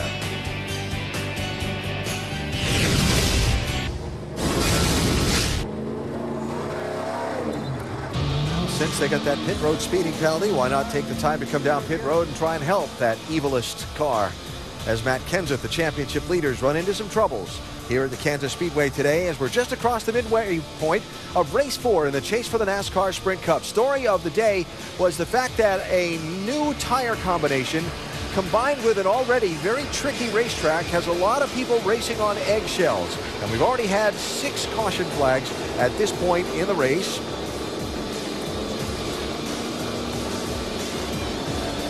Already had six caution flags in the race, and a lot of guys have been shuffled from the front to the back to the front through cautions coming out as they went to pit road. A lot of other strategy circumstances, and we've got it going on again at this point, including some of the championship contenders. Catch up on that in a minute.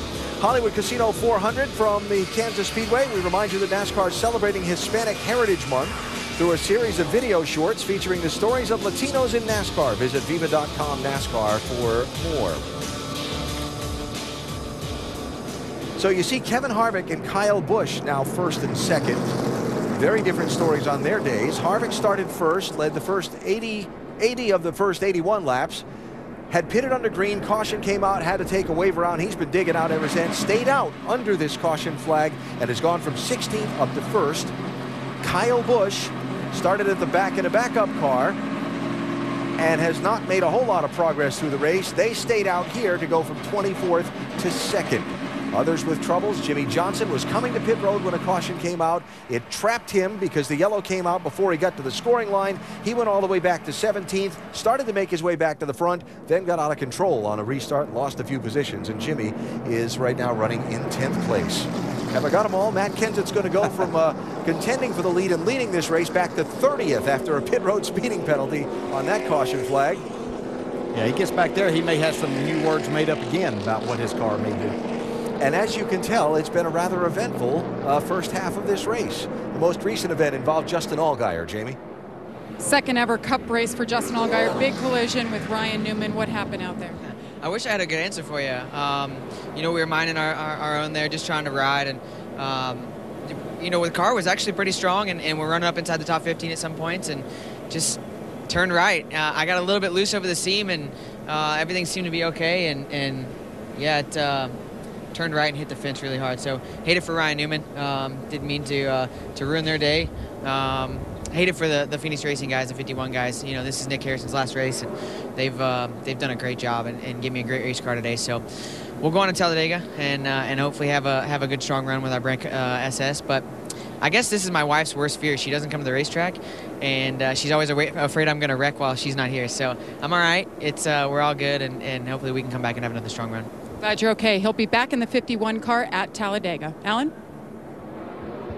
Jamie, thanks. And they continue to work on repairing Ryan Newman's race car as we take a look at the uh, danger zone presented by Nationwide Insurance. Kansas Speedway. Say a mile and a half of it. Yes. Yeah. Yes. Been a difficult place.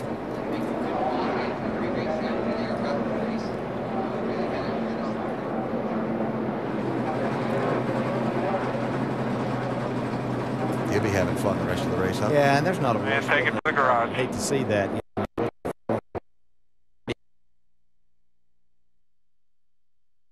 Around was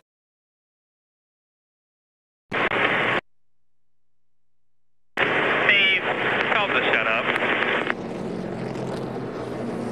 I don't think he's too concerned. That's about enough said. well, well, now the roles will be reversed here because the 22 is going to be starting on the inside and the 18 will be behind him. This is true. I'm, I'm quite certain that Harvick's going to take the outside.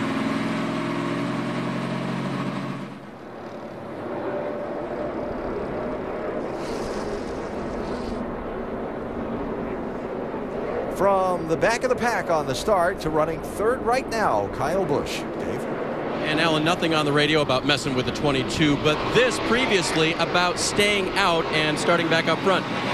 But do you think if I can be a clean air, you can play defense, or do you need tires?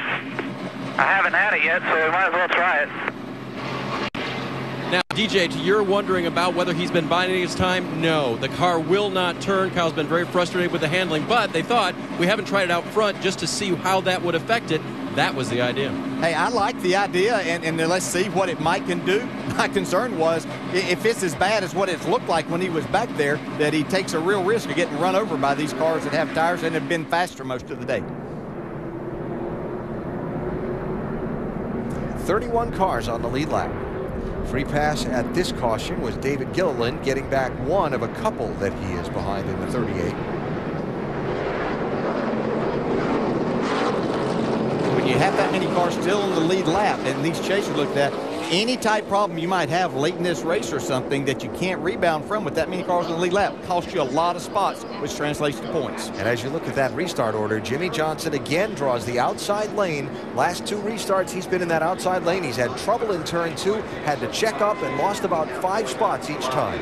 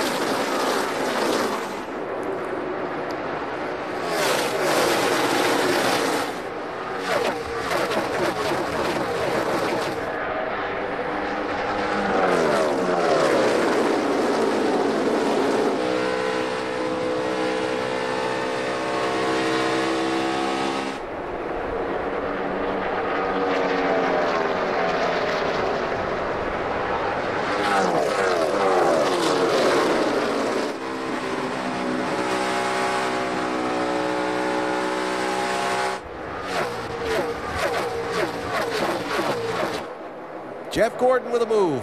Trying to get two for one. That's a great move. He got a great run off of turn two as Earnhardt Jr. was trying to pass Carl Edwards. The draft here seems to have a bigger effect than some other mile and a half that we see. They're just able to get that run. But it, I think it's more because of how much they have to pedal the throttle on the exit of the corner, and it makes it, if you can stay in the, the gas being behind them, you can really gain a lot of track position and, and time on them in a hurry.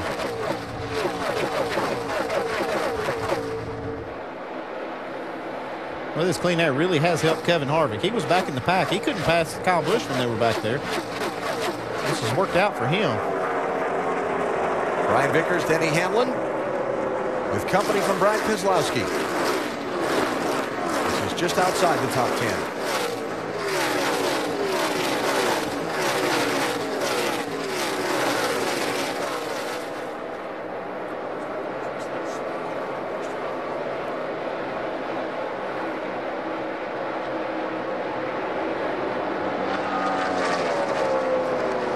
Something going on up on the uh, hillside hospitality area overlooking turn one and you see the drivers racing through that smoke. It doesn't have anything to do with what's going on on the racetrack. We'll see if we can find out exactly what it is here in a minute. Well, that's got to be unsettling for the drivers to drive through that, Dale. I promise you, at 190 miles an hour entering that corner, already treacherous conditions to start with. Somebody telling you everything's okay. Caution's out. Caution's out. Caution's out. And it is for the smoke. And just that, not having the drivers racing through that reduced visibility. There is a fire truck that is uh, has arrived on scene, and I'm sure they'll have that quickly extinguished. It puts another car on the lead lap. Yep. David Gilliland gets the free pass, second of his uh, laps that he needed to make up. Got them both.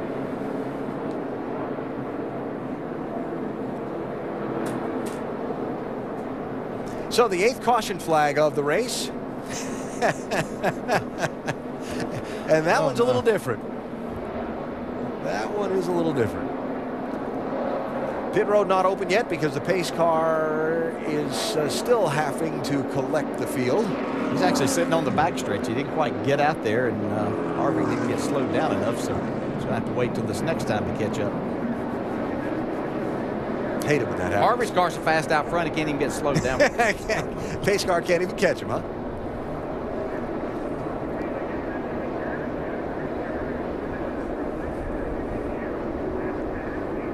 You know, if we, we, if we, when we want to, we could have some fun with Brett about that. Brett Bodine uh, Uh-huh. driving the Yeah. pace car for NASCAR.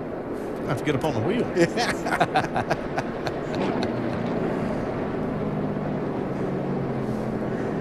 All right, pit road will be open this time by, I don't don't know if we'll see any takers. It's um, got an interesting mix of the strategies going here. Harvick last pitted at 113, Logano at 139. I'm gonna Yeah, Harvick almost on. has to.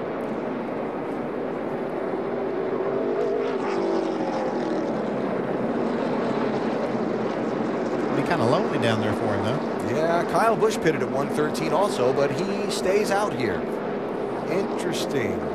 Just a few other takers. I thought with all the caution laps, Harvick now might try to stretch it a little further. Vince?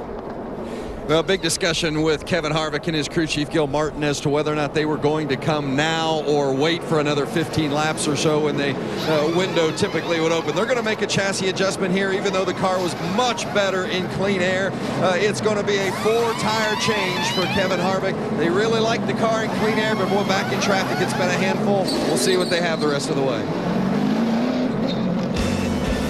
Matt Kenseth also taking advantage here for a trip to pit road. We go NASCAR Nonstop, presented by Quicken Loans.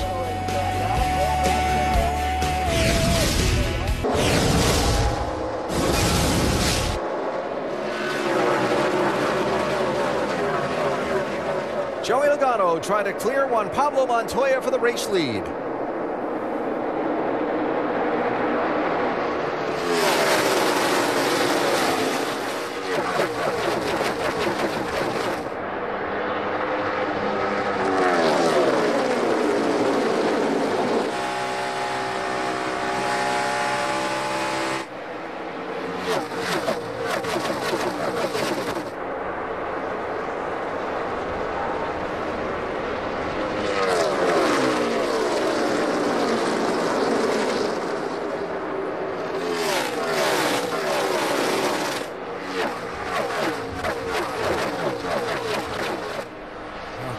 Busch is wheeling it. But Yeah. Boy, he's got his hands full. Yeah, he had to get completely out of it off turn two. Yeah, and his brother Kurt had a moment there off of turn two with Jeff Gordon right there, and they both almost got into the wall.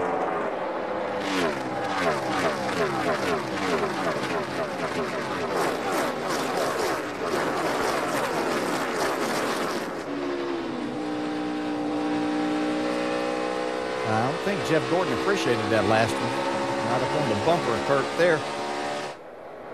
Wow, running look at that. all the way down to the apron. He's really not going to be happy now.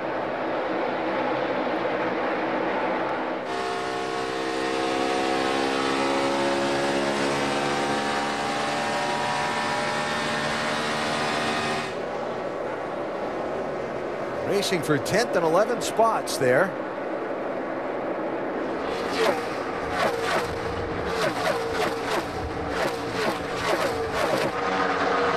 Now we'll see if that one's over or not.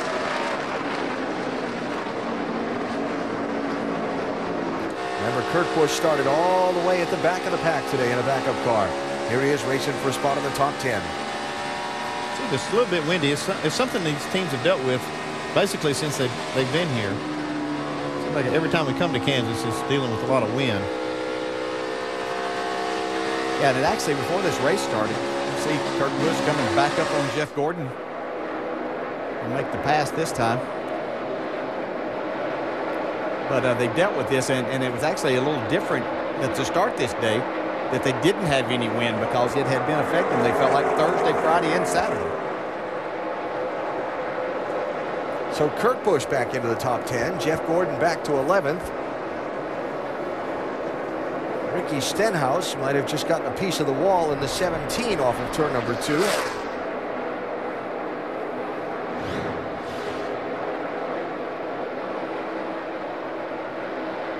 Yeah, pretty good piece of They it. changed that from Mike. Yeah.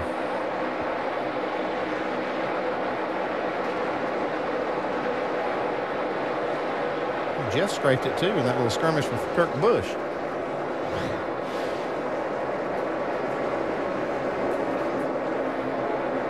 Just trying to see if that the very, very right rear corner part of the bumper there on the 24 got uh, ripped open or not. Yeah, that's a critical part of the car too. They don't really want to damage that because it gives them the side force that they need. Dave? Well, Jeff, obviously, well, not obviously, understandably unhappy with Kurt Busch. He said so over the radio. But also as to the balance of the race car, he told his crew chief, Alan Gustafson, whatever we did last time, it killed it tight. So right now the car not turning for Jeff.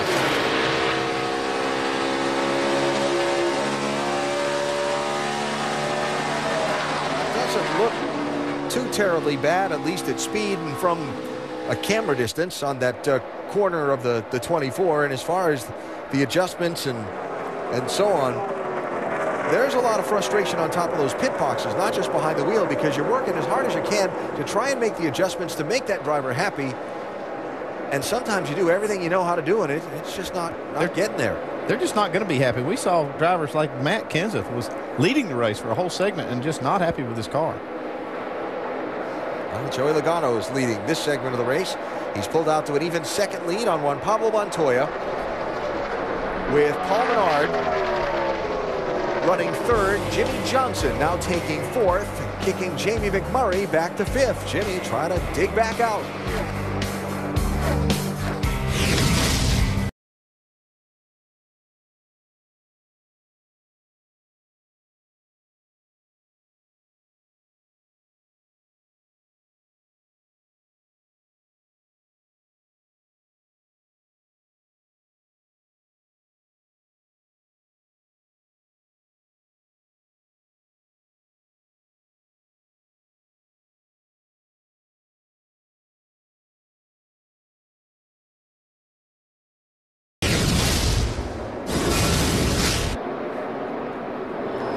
Pit road open. Doc. Jimmie Johnson has taken right side tires two times in a row. He says the car a little edgy in dirty air, but once it gets settled in, it's very good in clean air. Jamie. Juan Pablo Montoya is saying he's just a little tight there, but he gets better as they run four tires here. They won't have to change lefts again. Dave? Kyle Busch just barely made it on this fuel run. They will change four tires, give him a wedge adjustment for a car that won't turn. Vince? Dave Littell, the front tire carrier on the 22, was uh, went down on the previous stop. He's still out there. He's okay. It's a four tire change for Logano, as many others on pit road change four as well. Not everybody, but a lot of them. And there are four lead lap cars who stayed out and are going to shuffle this running order up one more time. Reset it for the restart in a minute.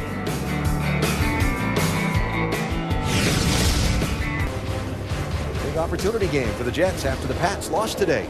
Oh, did they? Yeah. Did. Falcons need to win, try to keep up Yeah, with the do. Saints. Yeah.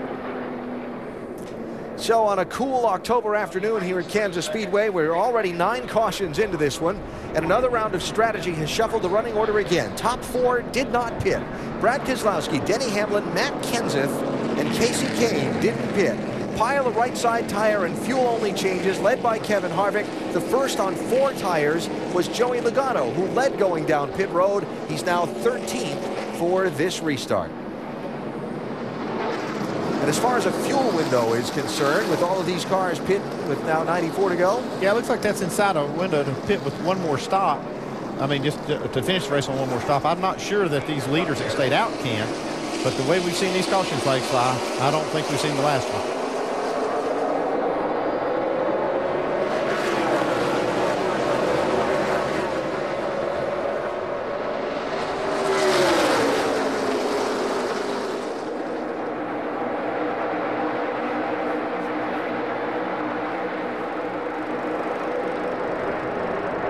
handful for Paul Menard there. Well, look at this, four wide. We're looking at five wide.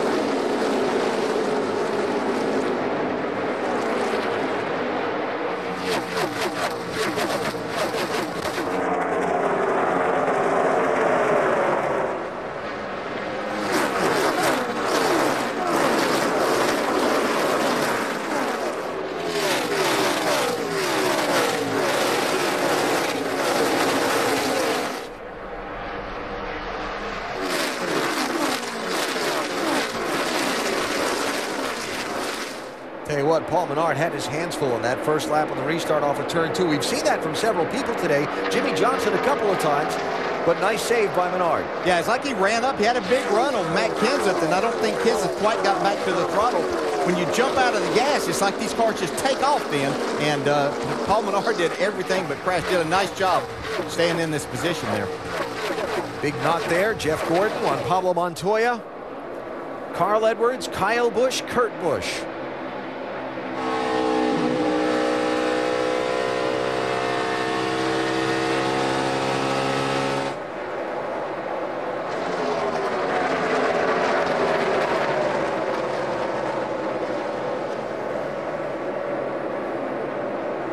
Oh boy, that's close. Man.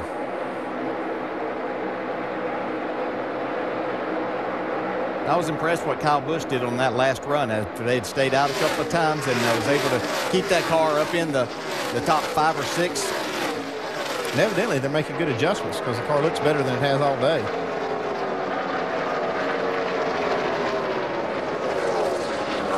Crew chiefs are going to have to figure out what strategy is going to have them up towards the front whenever it comes time, the end, that you don't have to go to pit road again.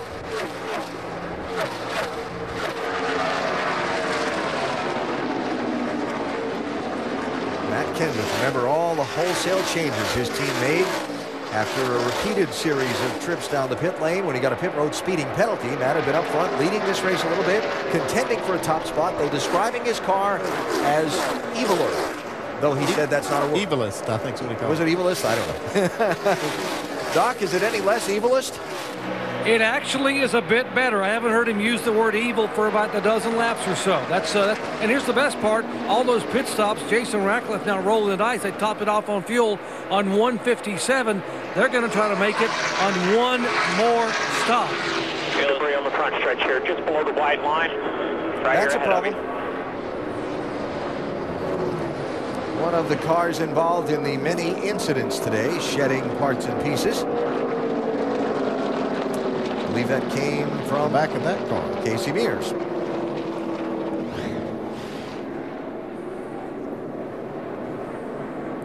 That's what dislodged it. You've seen that quite a few times today. And then this.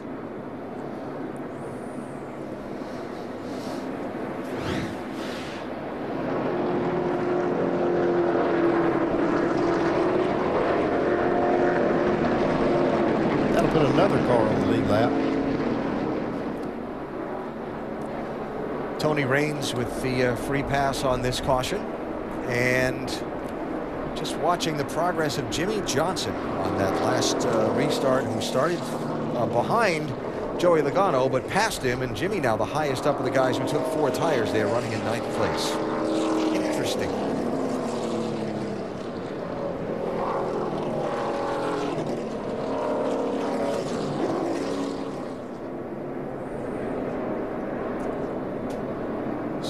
Of the uh, top uh, three decide to come down pit road here. They last stopped at 157. Can't see why they would.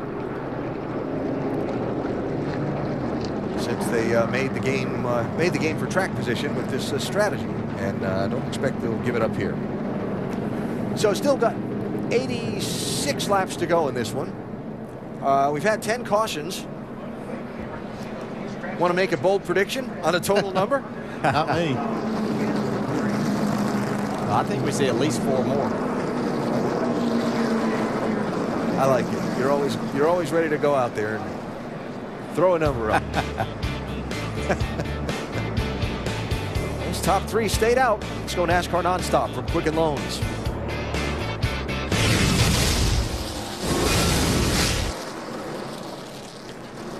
Doubled up for the restart. That'll come with 83 laps to go. Brad Keselowski, the leader, Denny Hamlin to his inside.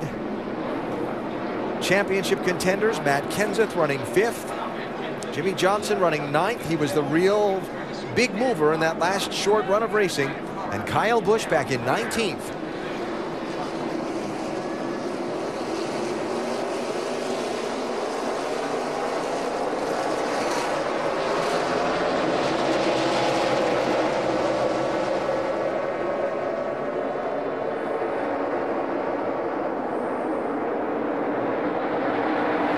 Oh, Denny Hamlin got loose. That forced Kevin Harvick up. He had a big run.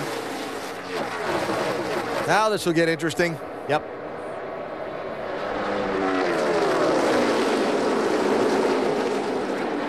Look at Harvick drive that in to hold on to that spot. Wow. And what about Truex taking advantage?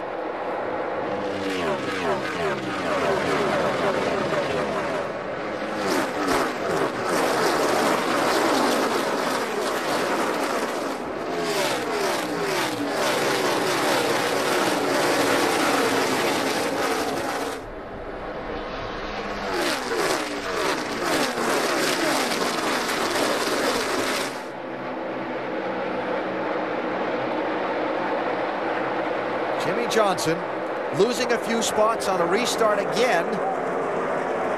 Oh, trouble. Kyle Busch and Juan Pablo Montoya. Lock her down, lock her down, lock her down, lock her down, lock her down, lock her down. How did he get away with that? I don't know. I, It's like Mark Martin. that Mark Martin that I thought was going to run square into him right there. Yeah, Mark's. I think Mark got the worst end of the deal. Yeah, I see some damage also on the fixed five with Brian Vickers.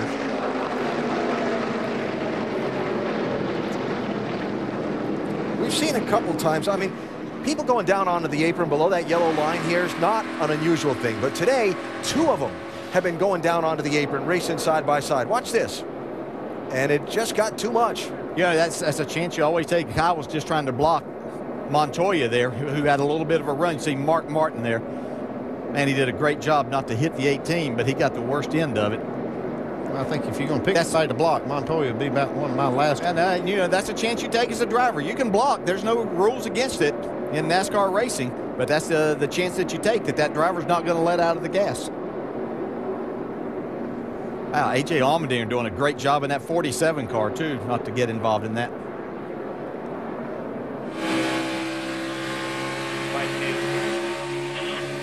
On 42, inside. In. Lock her down, lock her down, lock her down, lock her down, lock her down, lock her down. Get her. Getting intense.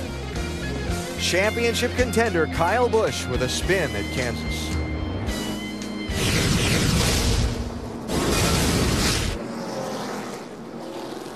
Been an eventful race here at Kansas Speedway. We catch up on some of what's gone down so far with our Dodge Durango race rundown.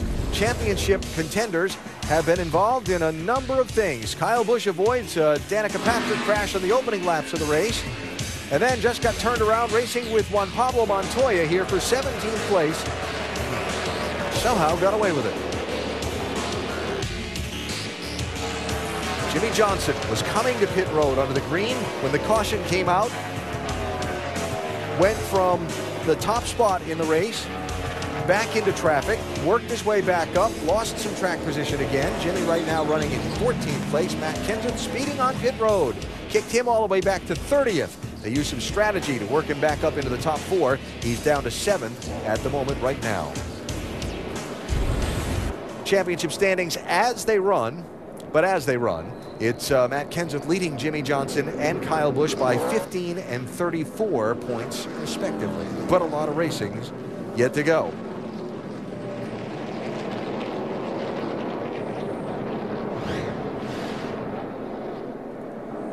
A lap before,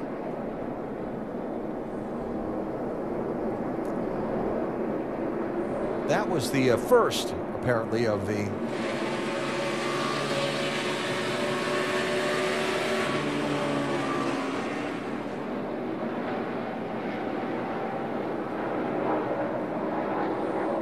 Like I said, if I was going to block somebody, I think that'd be one of the last guys I'd block. especially a guy that's not going to be even running this series next year, and all he wants is to win. And and frankly, has had an attitude since he's been here of, "You are not going to mess with me." Yes.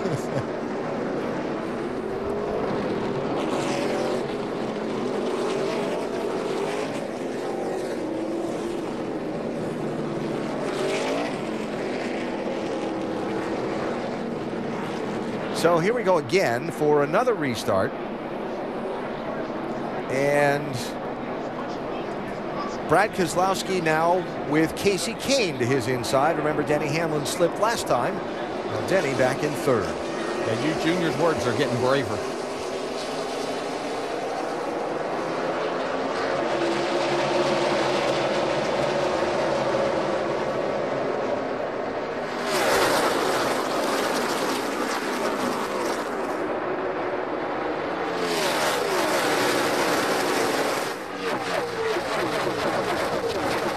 Jimmie Johnson sliding again on the outside of turn two. Okay, just something in that setup that doesn't like the, the cold tires. I mean, the car is fantastic on the long runs, which we haven't had one in a while. Yeah. Three wide.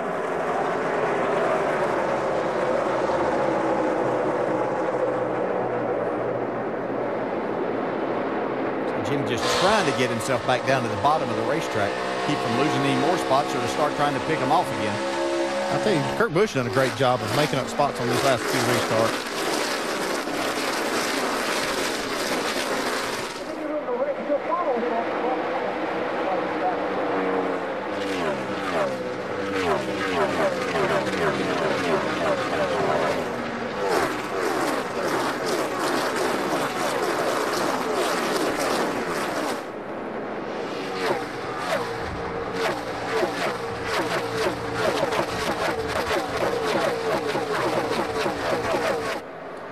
Keselowski and Harvick, one and two now. Earnhardt Jr. third, Kahne fourth, and Menard fifth. Remember the big strategy shuffle a little while ago. Joey Logano has gotten back by Jimmie Johnson to be the first car that changed four tires last time that group pitted.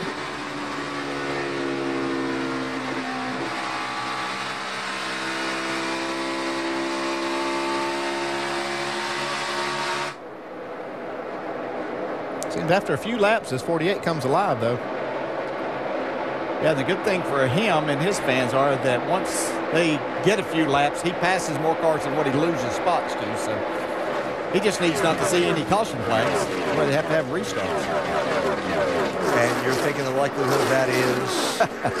I already stated my case. I've got one of the four that I said we'd have. Yeah. There's one in trouble off turn two. It's Ambrose. And around. Caution. Lock her down. Lock her down. You're all right. Nothing's coming here. Just lock her down. All right, bring her to pit road here. We, we got. Uh, We officially, we don't pit here. I think we're going to blow a tire. officially make turn two the nationwide danger zone, I think.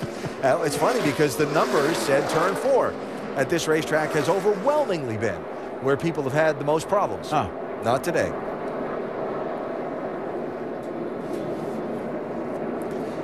So make that yellow number 12 for car 9 in turn 2. He's basically just losing it over there. They're not getting any help. They're just the cars are just jumping out from under these drivers. He was trying to wheel this thing to keep it going straight without spinning, but lost that battle.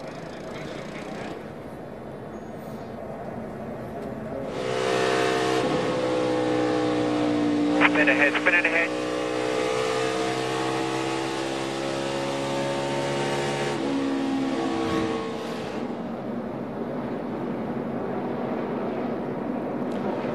So we're uh, racking them up today up to a season high. And uh, figuring we've got a few more in the pocket. Still to go. And Jimmie Johnson's worst nightmare is another restart. Yeah.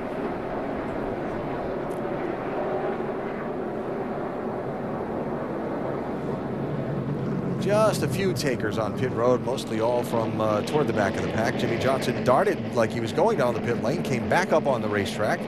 And right now, Jimmie running right behind his rival for the championship, Matt Kenseth. Been everything I can for you, Jason. I'm telling you, I'm just, uh, I just absolutely can't do any better for you without wrecking. We've already used up eight of our lives here. This tells you how treacherous it is on on this tire and this track surface. Yeah, man that has been Mr. Mile and a Half this year. And Mr. Kansas. Yeah.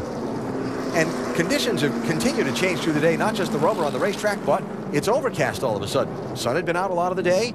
Now it's a, full cloud cover overhead of this racetrack and track temperature changing. Let's take a minute for unlimited access to the chase for the NASCAR Sprint Cup with NASCAR Mobile 13 and unlimited talk, text, and data on the Sprint Network. 18 lead changes, 10 different drivers have paced this race. Kevin Harvick has by far led the most laps, 95 of the 197. Brad Keselowski, the one that's out in front right now. Get unlimited access to the NASCAR Mobile 13 app with the Unlimited My Way plan, guaranteed for life and only from Sprint. See sprint.com slash speed for details. Of course, this uh, Kansas track, the home track for series sponsor Sprint, headquartered here in uh, Kansas City. Let's check downstairs, Jamie. Paul Wolfe, the crew chief for Brad Keselowski. You told me this morning this car would handle the best out in clean air. You're leading the race right now. How is the car and when do you guys need to pit? Yeah, obviously, I think everyone's seeing that. It's all about track position. And, and uh, we lost ours there early in the race, and, and we're really struggling back there, but we are able to get our strategy right, get back to the front, and now it seems like we're okay. So uh, everybody, I think, one more stop from here can make it. So uh, I think once the window opens up, you'll see everybody come to pit road, and uh, hopefully we can keep the Miller Lite uh, Ford out front. All right, in that window right now, Allen, about 2.15. And remember, Brad Keselowski looking for his first win of the season. Well, Jamie, don't think they're going to have to worry about making that stop under the green. At least if past trends are any indication. And a reminder as we get ready for the restart that the American Le Mans Series at Virginia International Raceway comes up at 5.30 Eastern on E ESPN2. Plus tonight, the Auto Plus NHRA Nationals Finals from Reading, Pennsylvania, 8 Eastern, also on E ESPN2. Next weekend, we race at Charlotte Motor Speedway. Nationwide Series, Friday night, 7 Eastern E ESPN2. And the Bank of America 500, race 5 in the chase, Saturday night, 7 Eastern on ABC next weekend. What the story will be going into that race five in the chase depends on how these final 68 laps go in race four today at Kansas. And uh, the way the first 199 have gone, it's anybody's guess what's going to happen now. And point leader Matt Kenseth, he's been losing about one spot per restart here himself. He was up in the top five, back to eighth right now.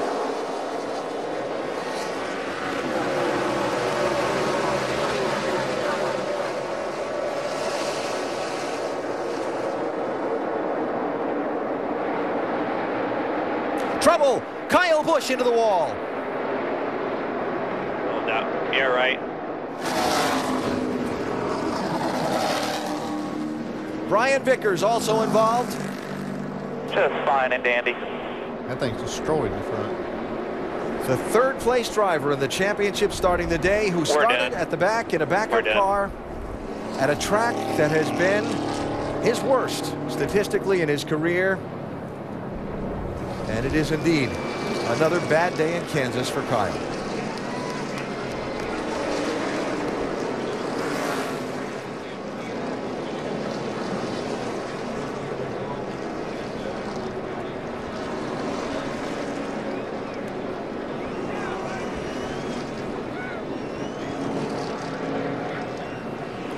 Well, he was running in 20th place. These restarts have been full of action and close calls. Just flirting with danger on each one of these and talked about how they just continue to ramp up. So there's some contact here. Oh, yeah. Carl Edwards. Brian Vickers was down on the inside. Thought he was in a pretty good spot through that. But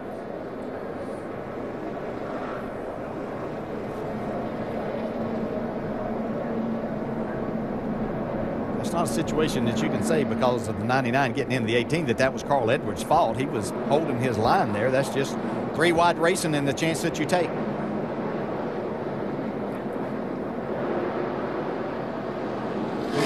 That's a hard hit. Hard angle. It's again a testament to the safety of these vehicles and all the things that NASCAR has implemented over the years. Kyle trying Three to wide get what top. he can here. Middle's covered. Three wide top. Three wide.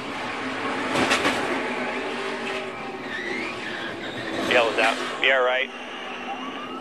Really amazing how well the restraint systems work in these race cars after a hit like that. Pit stops, just a few, Dave. They told Jeff, if everybody comes in front of you, come on, and he did. Four tire change. The car was a little bit tight. They'll make an air pressure adjustment for that, and hopefully give just a little Jeff a little something he can pass cars with. Going to try and make a run to the finish from here, you think? Well, the amount of cautions we've had, and the he has enough caution laps he can. Be interesting to see what happens. Yellow again. Kyle Busch in trouble.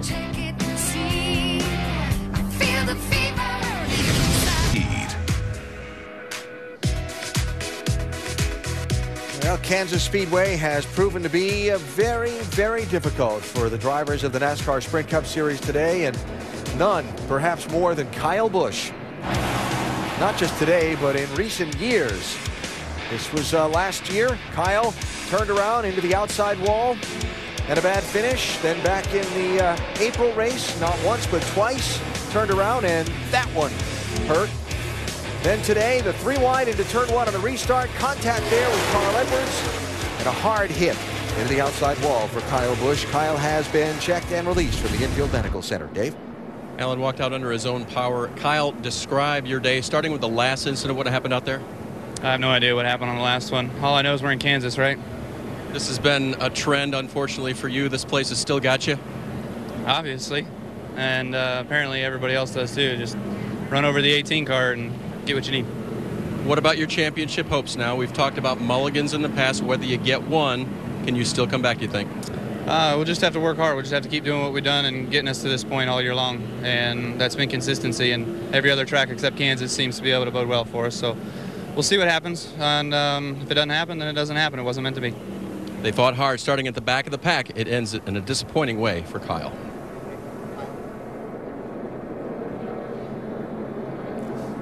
I can't blame him for being upset because he, this place just doesn't seem to work out for him. You know, unfortunately, as drivers, you, you find those, and it doesn't matter what you do. And sometimes the harder you try, the more problems you present for your for yourself and for your race team. Yeah, but the one thing that this team needed to do was just survive this race. Just get out of here without that kind of result, and they still have a chance at winning the championship. Been one of those days.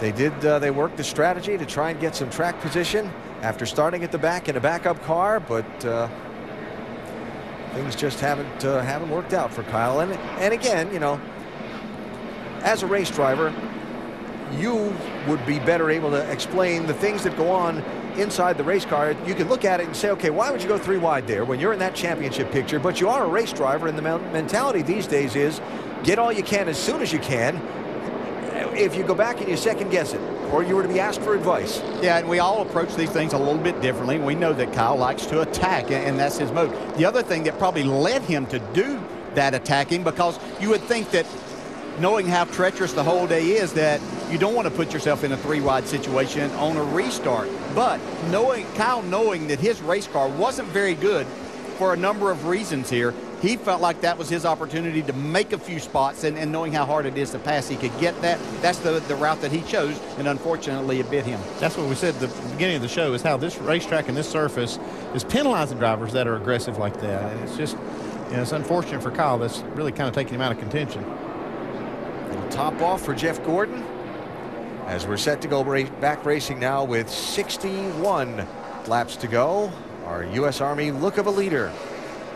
Kevin Harvick almost tripling the number of laps anybody else has led today. But Brad Keselowski out in front now as we get toward the late stages of this one. Still got a lot of racing to go. We're just barely inside the final 100 miles. Jeff Gordon's going to restart back around 30th place. Obviously making a play to not come to pit road again the rest of the race if he can.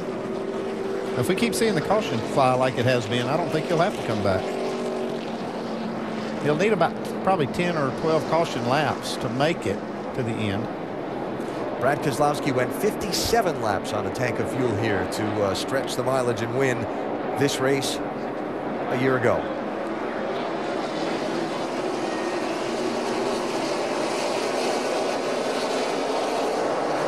Oh, Junior with a big tire spin there.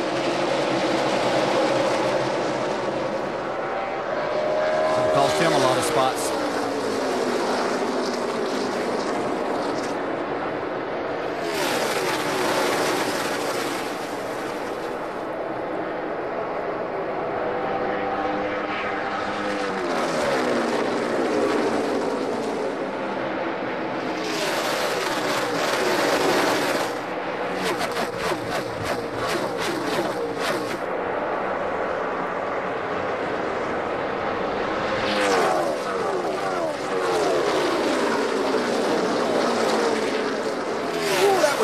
Matt Kenseth and Joey Logano back there, the two yellow cars. Matt had to back out. Yeah, Kenseth really struggled. We talked about Jimmie Johnson struggling on these restarts. Kenseth, I think, is even worse uh, now than what Jimmie Johnson been. He continues to lose spots.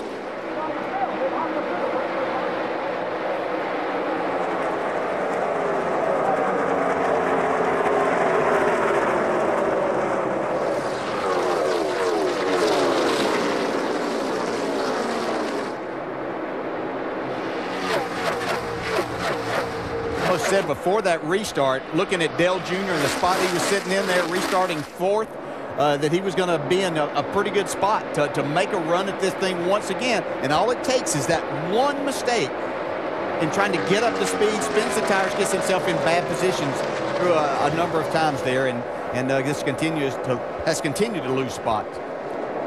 Well, yeah, big wiggle. You can see there, Brad Keselowski, he kind of slowed things down. Junior was kind of easing up there, had to slow down, and then as he tried to get back in it hard, that's when he really spun the tires. So third to 12th for Dale Earnhardt Jr. after that slip on the restart. Kyle Busch's car done for the day. 33rd place. Might lose one more Landon Cassill is still on the racetrack and could uh, finish enough laps to overtake him.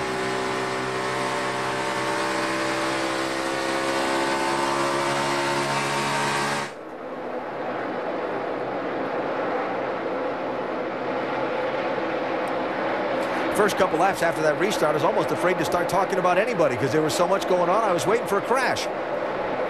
But Brad Keselowski and Kevin Harvick had a whale of a fight for that top spot. You could see and feel the urgency between them. And somehow Brad held Kevin off and squeezed ahead of him to hold on to the lead. I'll tell you somebody else has done a great job on all these restarts making spots. Kurt Busch. His team, they lost a, a, lot of spots on pit road. Back to 22nd on, a, on I don't know which caution it was. uh, but he has been making up spots, you know, in handfuls on these restarts. He's up to sixth place. And remember, Kurt started at the back of the pack in his backup car after he also had a crash here on Saturday. I'm looking right in front of him, there's Clint Bowyer, who has complained about this car since Thursday's test session. Just shows they continue to work on it, got themselves in a position here. He's up in the top five, Jamie. That's right, DJ. In our qualifying on Friday, he said it was the worst car he has ever had at Kansas. It's a brand new machine. They worked on it all weekend, and to start this race, he wasn't good either. Wasn't happy with the car. He has hung in there. They've adjusted. They've gone the right direction. Remember, this is his home track and mean nothing more than to go to victory lane for the 15. I'll tell you how bad it was. They had a full day of testing on Thursday. For Friday morning's practice to start, it took him three runs before he could even make a lap with the car. They really have been struggling, but real impressed with what they've done so far. I still don't think the car is great, but they've made it better and they've got in some track position. Interesting to see. We keep waiting on that part of the, the race where things kind of settle out and are we going to get a longer green flag run once again towards the end of this race. Jimmie Johnson picking up a spot on Martin Truex, seventh place. If you could get a long green flag run, you might see this 48 car start yeah. to start to make up a lot of ground. Yeah, he's been the best in the long run. There's no doubt about that. But every time he gets a restart, he slips and a few spots change hands. Him, uh, Dale Jr.'s made his way back inside the top 10 also. Able to make some passes. So both of those guys have good race cars.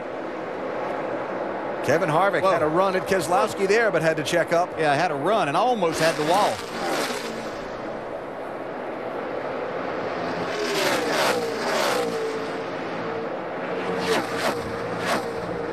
Back before when Harvick got shuffled to the outside and drove into turn three, three wide? We hadn't seen anybody that high on the racetrack all day intentionally, no. and he made it stick. Uh, Harvick's got a lot of confidence in this race car today. Vince, if he wins this race, that's a moment I'm really going to remember. Kevin Harvick, we're talking. Well, it's been a weekend to remember. I mean, after all, Kevin Harvick started on the pole in this race. First time he's earned pole position since 2006. You know, Gil Martin said that the gear and the RPM that they run here at Kansas is right in the sweet spot of their engine package. And that's why he feels like they've been so fast here this weekend. And also, Kevin is one of the best at taking care of the equipment, which is exactly what you got to do here to be good. Denny Hamlin gives up fourth for a green flag pit stop, Jamie. And Denny Hamlin, the team told me they needed to pit at lap 217. The car has been pretty good, working in the right direction on this car as well. Left side's only a little hesitation just to get enough fuel in it to make it these remaining 49 laps.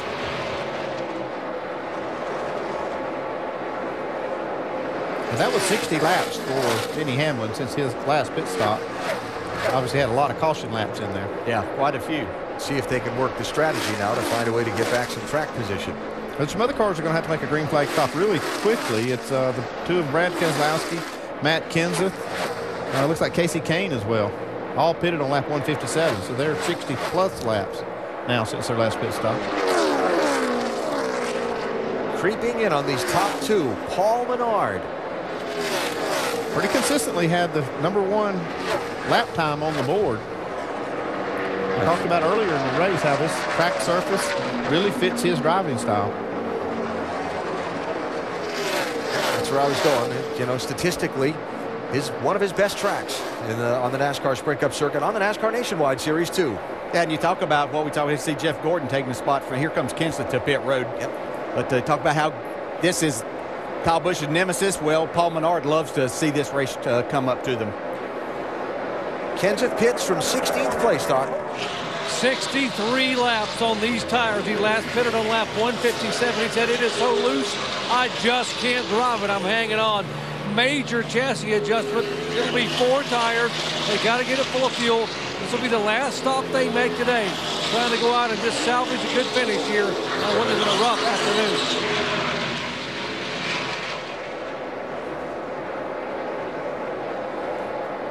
And while Kenseth's on the pit lane, another spot for Jimmie Johnson.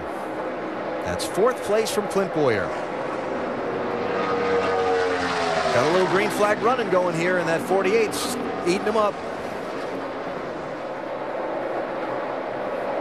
You know, the last time that they were on pit road, they got four tires, so that's a good thing for this 48 car as they, they run on a little bit longer here.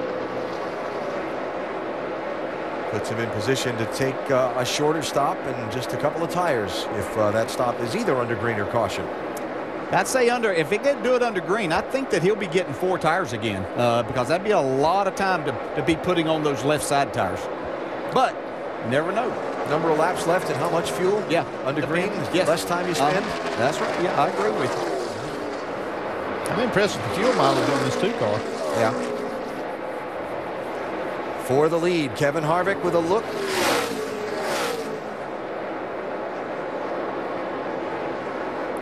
And by. Brad's been 66 laps so far. On Coming now, I believe. Yep. He's not out of fuel. Thirty-nine fifty.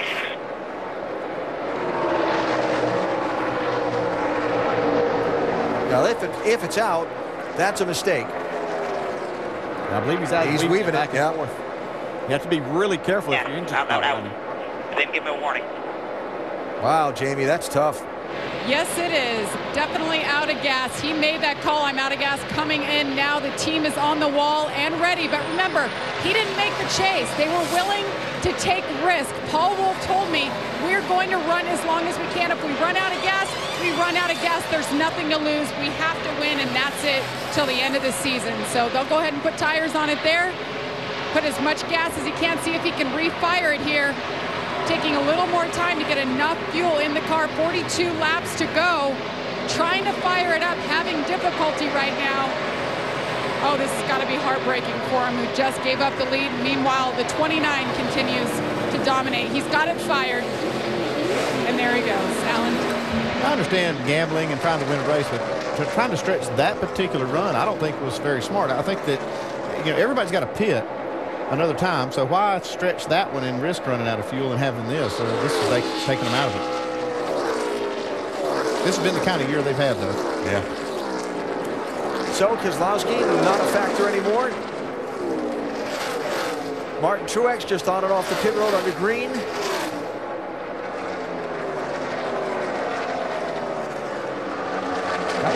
Checking for debris. And the caution's out. There it is, just hit out, by somebody. out. Might have been the 30 car that uh, hit whatever that was. Cole Whitt sitting there down into turn one. Could play right into Jeff Gordon's hands. There's your four more cautions you were talking about, Dale. So we're going to at least have that many. Wow. Whatever that was left a mark. Sure did. When they picked it up and carried it away. Still wrapped around that front splitter of the 30 car.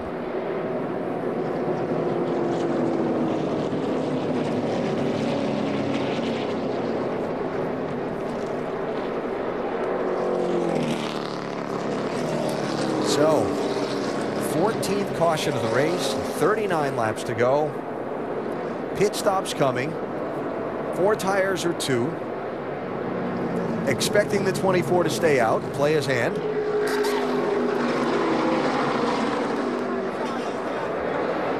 And the thing here is a lot of these cars are low on fuel. So it's about the lowest the fuel tank's been. To take the two tires, you're going to need oh, 39 laps to go. Yeah, you might be able to get two tires here and enough fuel. I got to make sure that you get enough. If you're going to get in there, you might as well have enough for a green-white checker. The way this stays going. Yeah, or, or more than one. yeah. No kidding. Well, the old phrase, the money stop. Here it is.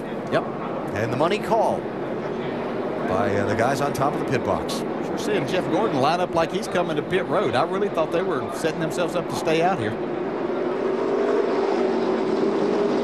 He is coming in. He won't be there long, though. Wow. Doc? Jimmie Johnson sent a little free off turn four check and now says stop in the back of the box so we don't get blocked in. They took four last time. Got to believe they're going to go two this time. Two right side tires, chassis adjustment, and get it full of fuel. Jamie. Slugger Labbe making the call for Paul Menard. Right sides only is the call. Enough fuel to get him through. Meanwhile, Clint Bowyer in the 15. Right side tires, they put enough fuel in. 8.6 seconds. Vince? For Kevin Harvick, they've got to get 15 gallons of fuel. That means they put a second can in. It's in already. Right side tires only, and the 31 is the first car off pit lane. You see Jeff Gordon gained eight spots. He didn't have to wait on fuel because his tank was fairly full. He took two quick right sides, jumped out there, got the track position. And when you were watching Jimmie Johnson's team let the car down slowly because they were still fueling it, and then when they had the number of seconds of fuel in the car, they sent him on his way.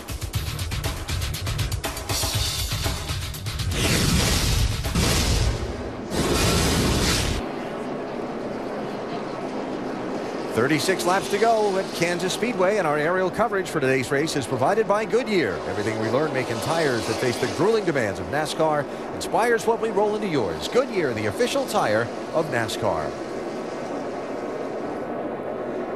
After today, we move on to Charlotte Motor Speedway. Saturday night, 500 miler. The remaining races in the chase for the NASCAR Sprint Cup. There they are, where you can find them on television and where you can find them to come join us at the track. Hmm. NASCAR.com slash tickets. What a variety and what an interesting next six weeks it should be. Yeah, that's what I look at is the variety of different tracks and what it's going to bring us fast next Saturday night at Charlotte, though. That's for sure. So doubled up for the restart. Jeff Burton first off the pit lane. Fuel only the call by Luke Lambert. Kevin Harvick to his inside. Look who's lined up on the outside of the second row. Marcos Ambrose. After his big spin. Yep. Put them on a strategy to come in last yep. time and do less this time. Jimmie Johnson goes from third to 14th by spending an extra second or two waiting on fuel. No worries, man. It's all good. Oh, it's, it's not. It's not. And Matt Kenseth just took a wave around back onto the lead lap along with Denny Hamlin, Kasey Kahne, and Martin Truex. Matt showing in 30th place.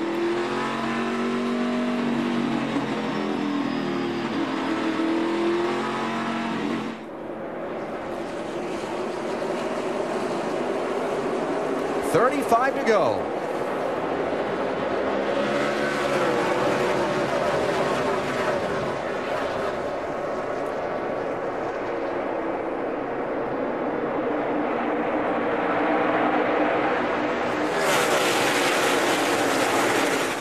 Jeff Gordon's going to have a chance to win this race. He's going to have to clear Jeff Burton right now.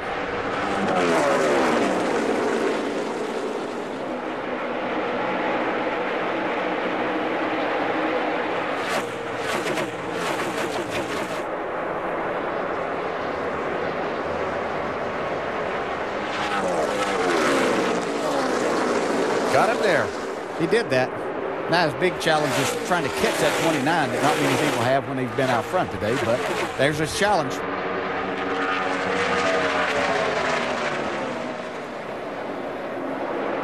Jimmie Johnson, Dale Jr., 11th place. Jimmie trying to make up a lot of spots in a short period of time.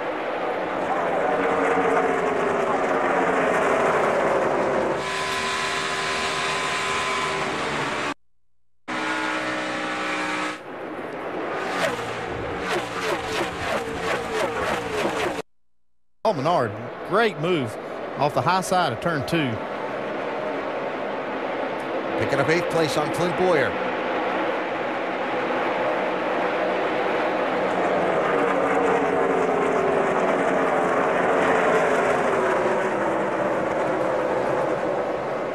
That's 11th and 12th for Dale Jr. and Greg Biffle.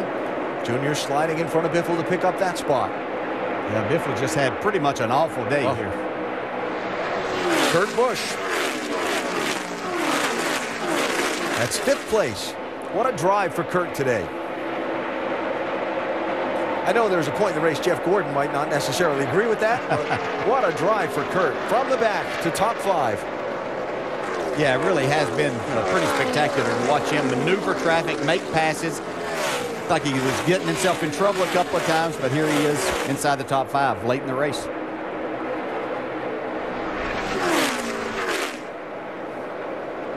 Jimmie Johnson trying to continue to pick him up as quickly as he can. That's around Paul Menard to pick up eighth place. He's marching.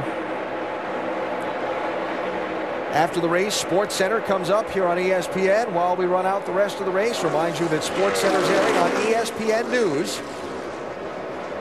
And we continue here from Kansas Speedway. As eventful a day as this race four in the chase has been, who knows what's going to happen in these final 30 laps. I don't know. As we see this battle, Jimmie Johnson still marching forward. I do know the guy in second, Jeff Gordon's running his fastest laps of the day, trying to run down Kevin Harvick.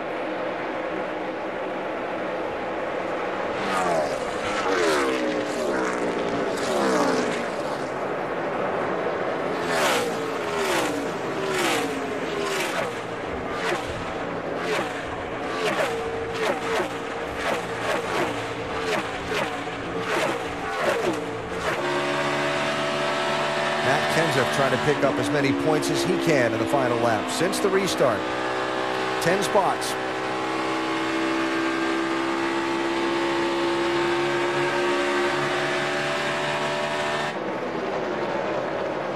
Well, Ambrose is wheeling this number nine.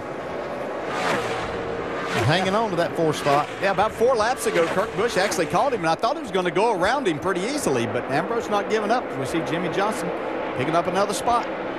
Sixth place. There goes Kurt Busch. to fourth. Funny how all the people now at the front of the pack, almost all of them, had circumstances that trapped them at the back of the pack. At one point in the race, whoop, Ambrose up the track. Jimmie Johnson scoots by him. Kevin Harvick dominated the opening stretch of this race. Jeff Gordon was uh, up there in the opening stretch of the race. They both made a pit stop under the green flag.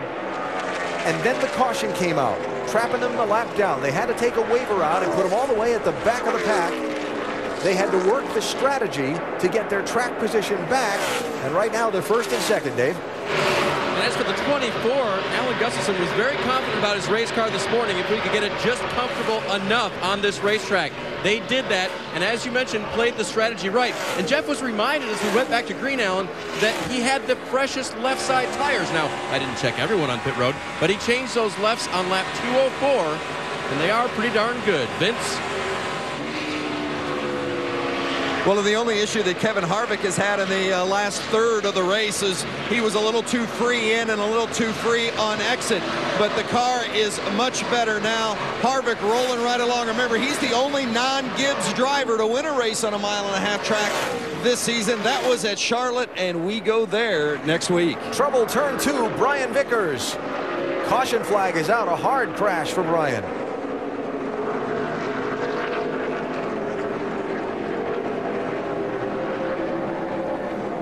Thing snapped around on him. I don't know if it cut a tire or not. It just snapped. Window net down. Driver signal to the officials that he's okay.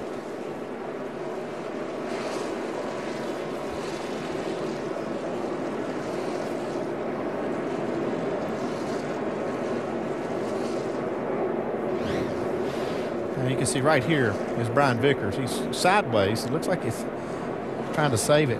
Oh my, look at this look. Oof.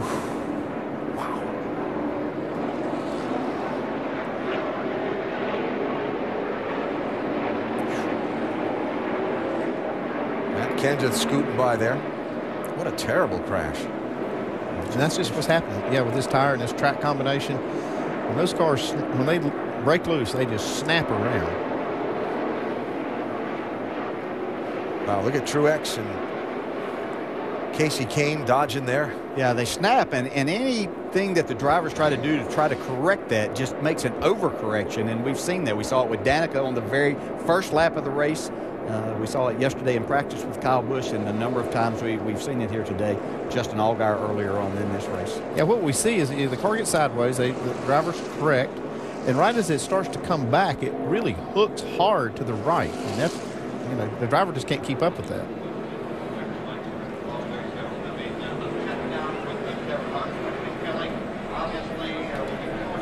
Well, what has been a trouble-filled day here at Kansas Speedway continues, changes the picture for the final laps. The 15th caution of the race. Now a record for this speedway for the NASCAR Sprint Cup Series. And we started our telecast, oh, about uh, 360 miles ago or so, saying we expected this could be a day that uh, might turn into calamity for some. And uh, it has proven well true. Yeah, it's just a, a, tough combination. Uh, you, you have the speed of a mile and a half racetrack, a very smooth track, but it has the grip's gone away a lot, and, and the, the new tire combination has just thrown these drivers and teams for a, a big curve, and uh, it's been very difficult for them. Jimmie Johnson sitting fifth. You're fast. We do not have to worry about gas, right? It's 29. He's worried about gas. It's going to be interesting. Um, we are not concerned about fuel at all. So you're going to be able to go like hell. You're going to be able to keep your tires good form. I find that fascinating because when Jimmie sat there and waited that extra couple of, of, of, seconds there for gas on the pit lane, that's what was kind of confounding Chad Knaus, I think. Well, if we had to do that, how come all these other people didn't? Well, did they take the chance that they got enough fuel in to make it? Yeah, they were timing the fuel. These other cars that knew that it was going to be important to stay on pit road the least amount of time, so they were timing their fuel to run the 39 laps or so that they had left. Well, when that came out, it, when the caution came out right there, the way Jimmie Johnson was passing cars and moving forward, his biggest obstacle right now from winning this race, Kevin Harvick's fast out front, but the restart that he gets here, if he doesn't lose any spots here, I think that he drives on to, to the win to win this race. And uh, we'll see. His problems have been when he started on the outside. He's going to be on the inside this time. And we'll see if he can get this car up to speed and stay in, in touch with uh, Harvick and Gordon on this restart. I tell you, I'm going to be watching is Kurt Busch. He's been passing these cars on the outside on all these restarts. Well, 21 laps to go. The cleanup continues off turn number two, and after all the action we've seen today, uh, there's a lot to talk about. Let's check in down to the Quicken Loans ESPN pit studio. Hi, Nicole. Hey there. You think there's a lot to talk about? A lot of drivers in play as well. We were just sitting down here talking about, you know, drivers we wanted to, to point out and I think you guys listed off about six, seven, eight of them. But let's start with Kurt Busch because he's had a very good comeback today. He's had a great comeback. I'm really happy with him. I mean, here's a guy that's been controversial for a long time in his career. It takes extreme patience to run this racetrack today. And this guy's not known for extreme patience. But he's up there running fourth right now. And he came from two laps down at one point to be up there in fourth. And right now in the hunt for the victory, I tell you, this guy's made a big turn, in my opinion. He's looking really good out there today, Brad. Hey, what about the guy who's been consistently running some of the fastest laps on the track? That is number 24, Jeff Gordon. Yes, sir. The guy who got into the chase at the last moment. He is contending for a victory today. Jeff Gordon wins this race today. He is a serious threat and really like title. their strategy too. Yeah, absolutely. Strategy play by the 24. Great job. Did, did a good long. job. As a matter of fact, if he wins, you should get out your Jeff Gordon T-shirt. but you know what I'm looking at. Jimmie Johnson, Chad Knaus. They had a little issue on pit road. Chad was a little excited. Jimmie calmed him down. He's driven that car. He restarted in 14th position just a few laps ago. Doc, what's going on with Chad Knaus right now? Well, let's find out from Chad right here. Chad, uh, you, you purposely waited to get the car full of fuel. Is that going to pay off for you now? Well, we can definitely make it to the end of the event, and there's been a lot of cautions. Uh, I'd have to say the potential for a green-white checker is there, so we wanted to be conservative and, and make sure we could make it to the end. The Lowe's Chevrolet is super fast today. Jimmie's done an amazing job driving the car through traffic. We've had some really, really bad restarts really by no fault of our own, just to kind of the wrong place at the wrong time. But uh, really proud of the way this team's performed today and the race car, and I think Jimmie's doing a great job. Dave Burns. With Alan Gustafson, Harvick has been fast. What's working most in Jeff's favor at the end here, Alan? Well, these restarts are going to be hairy. I think getting a good restart, keeping them close is, the, is what we've got to do. Uh, you know, I think we can do it. We just got to got to keep them close. Restarts are just crazy, so hopefully we'll get a good one. There's one coming up. Vince? Restarts definitely key. Gil Martin, how good is Kevin Harvick's race car right now? It's pretty good. It likes the front. I mean, our Budweiser Chevrolet's been strong out front all day long. Everybody struggled in traffic a little bit, but if we can uh, just get a good restart right here and get that high line rolling, uh, we'll see what happens. Alan? Gil Martin working the strategy to get Car Kevin Harvick back his track position after getting trapped by that caution earlier in the race. Yeah, you got to give him a lot of credit because this car wasn't just, you know, averaging in traffic. It was terrible.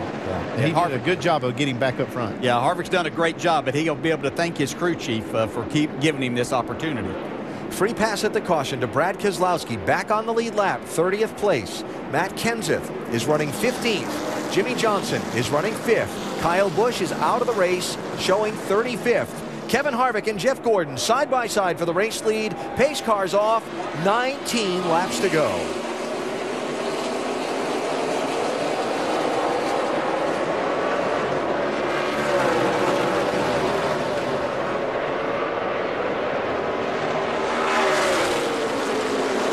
Gordon was having to be more concerned with keeping Carl Edwards behind him. Wasn't able to get the angle into turn one that he wanted. Fighting with Kurt Busch for second. Letting Harvick get away. Look at Kurt Busch drive that car in the corner. Made it stick. Comes Logano taking the fourth spot away. So now it's Kurt Busch chasing Kevin Harvick.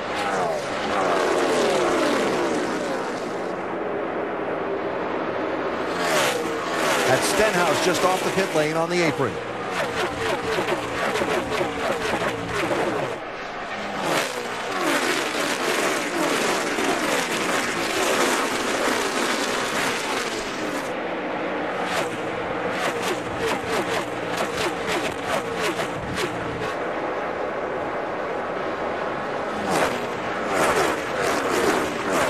Jimmie Johnson doesn't have it rolling yet, has not been able to get by Carl Edwards and pick up fifth place. Johnson losing one on that restart. Harvick's been amazing when his car's out front. I mean, these lap times he's running are incredibly fast. It's a belt off of somebody's car. Drive belt that was just rolling around. Got hit.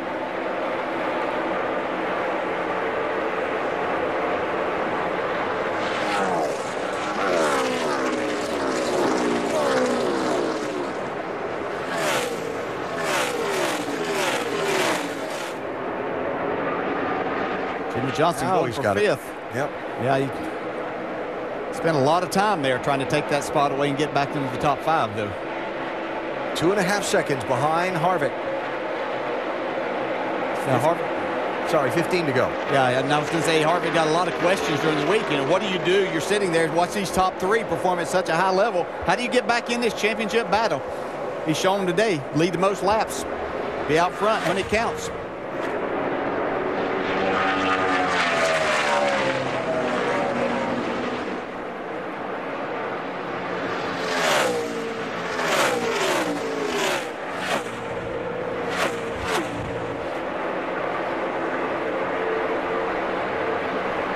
Jeff Gordon, another terrific drive, another terrific race, not trouble-free. But here in these late laps, just searching for an answer, finding or trying to find a way to win. I guess what I've seen from Jeff Gordon in these last several weeks is, despite the ups and downs of their season, being in position to try and win some races earlier in the year and having things get away and so on, uh, even though there is talk of Jeff being closer to the end of his career, uh, certainly than the middle, let's say. Uh, he's he's not giving up on anything and not giving up anything to anyone. I don't think he's given up on this championship this year either. I mean, he keeps just clawing his way, trying to get back in it, even though those top three coming into here have been so stellar. But the way they're running right now, he's only 31 points out of the lead. No, this man has so much talent, and he's got drive and ambition still in him. Even though he's accomplished so much in this sport, he still wants to, to run well, and he still wants to go to victory lane. It just shows how tough it is out here, though. You know, it's not just we thought it was Matt Kenseth and Jimmie Johnson and Kyle Busch the only ones you had out run. Now you got Kurt Busch up there and Kevin Harvick having a stellar day. So just never know from week to week who it's going to be. Just incredible competition. Jimmie Johnson trying to pass Joey Logano for fourth place. Matt Kenseth back in 12th. And just while we watch this, to, to, to finish up the thought on, on Jeff Gordon, it's hard to stay at the peak of performance in any sporting competition for the period of time that Jeff Gordon has. And uh, to still be a, this number of years into his career and be performing at the level that he is, is uh, all credit to him.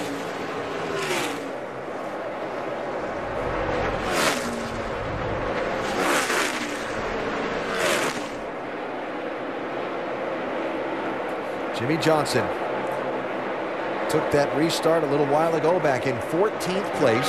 Not, not the last one, the, the second to last one. the, the restart from the 14th caution, not the 15th. And if you were to go back and do a, a line trace of his day, the number of positions he passed on long green runs and the number of spots he gave up in the first couple of laps after a restart when he had to restart in the outside lane I'm not sure that uh, Jimmie hasn't had maybe one of the best average running positions all day, set Kevin Harvick aside, but just that up and down has been just a little too much to overcome.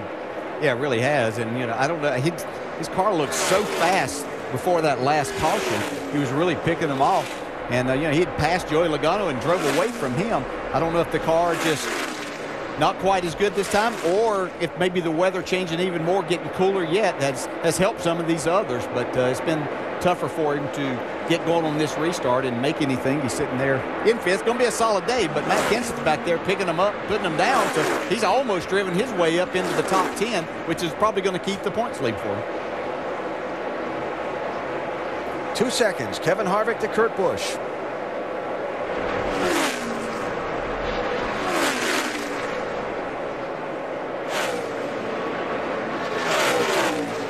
Trouble-filled day at Kansas Speedway. Longest green flag stretch of the entire day was 40 laps. Had a record number of yellow flags for this racetrack. And the big headline of the day, besides who wins the race, is that Kyle Busch was involved in a nasty crash at lap 199, three wide into turn one on restart, contact there with Carl Edwards, and a heavy hit into the outside wall for Kyle Busch. He's going to finish this race in 34th or 5th positions, depending on how things play out over the final laps.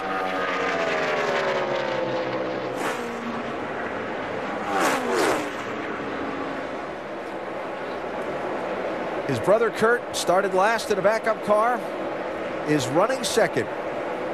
Gets our nod today for the Goodyear Superior Performer. Yeah, he's earned it today, that's for sure. He and his team. Yeah. He had, had a little hiccup on a pit stop or two, but Kurt Busch was able to just drive by cars one after another after these restarts to get this track position back.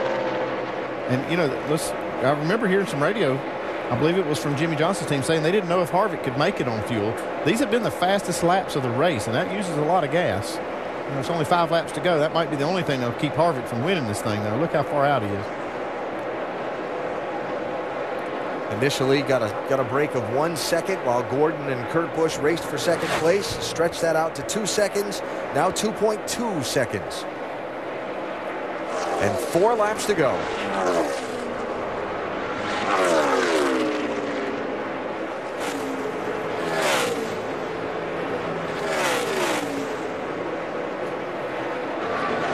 Kevin Harvick had the win at Atlanta just before the start of the chase for the NASCAR Sprint Cup.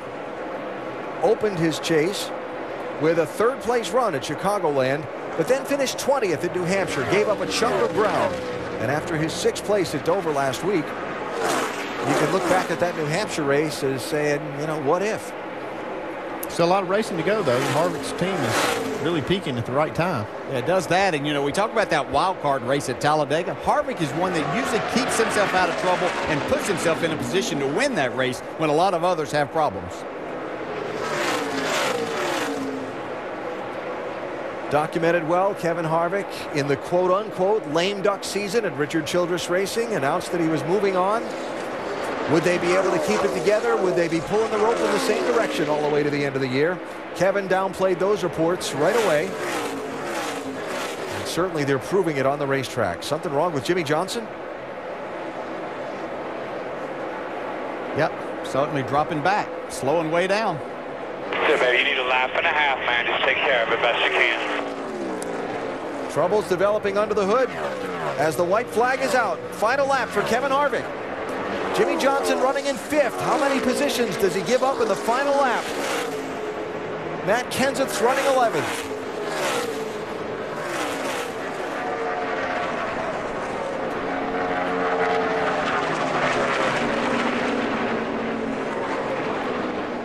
Well, they started up front, dominated the early part of the race, fell back, worked the strategy, got back to the front. Harvick did the job on all these late restarts, and Kevin Harvick wins at Kansas.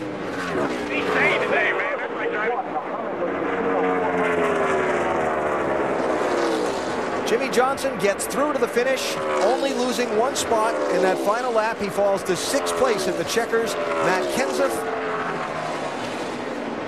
takes the checkered flag in 11th position. And Gil Martin and company, what a day here in Kansas. Yeah, I got to hand it to Gil Martin. He engineered a great victory today. Looks like driving two different cars from front to back. Great job. Got him in the hunt. And the call to not pit to get Kevin Harvick his track position back, back at lap 139. That put Kevin back up front. You heard him say just there what a different car it was when he was back in traffic versus when he was up front and had a shot at that clean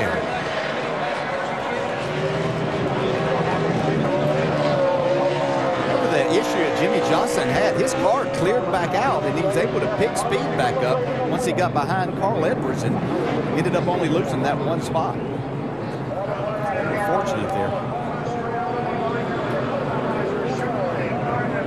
Dodged a major bullet. Yeah. Wow, what a run Harvick had. That was incredible to watch him out front all day, just negotiate this place. Yeah, it's unbelievable how fast that car was when he would get out front and get that clean air. And he was back in traffic. I mean, he was just another car. He couldn't hardly pass anybody. Gil Martin did such a great job to figure out a way to get that clean air back.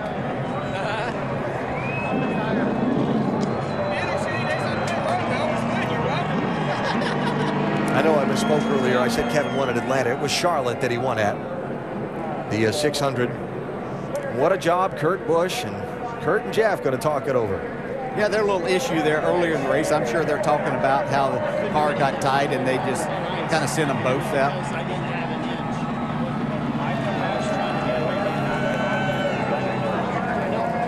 Things get a lot better when you end up finishing second and third. You can talk these things out. Yeah, and I think they have a lot of respect for each other. Yeah, no doubt.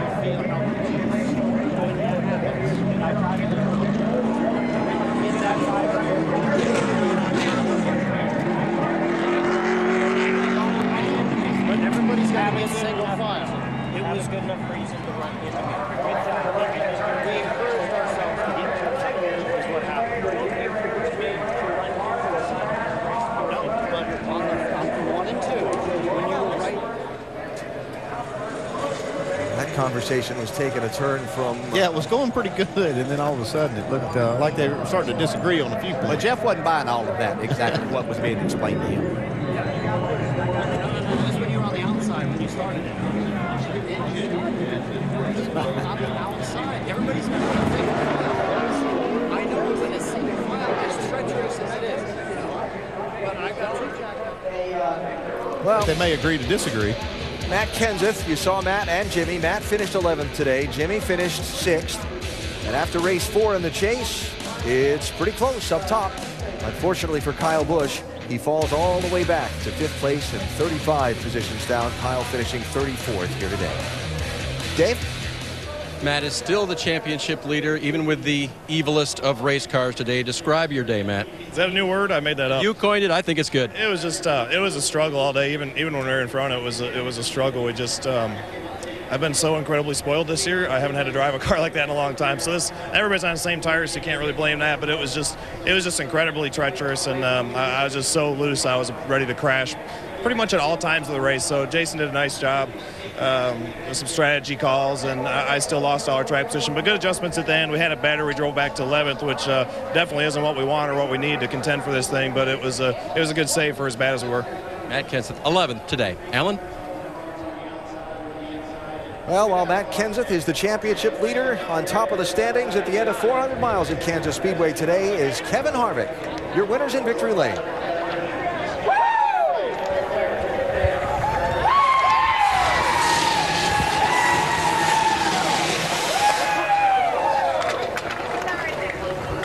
He started on the pole. He led the most laps, and he brought it home and parked it in victory lane. What a dominating performance for you today. Kevin, what's it say about this team to make this statement in the chase the way you did today?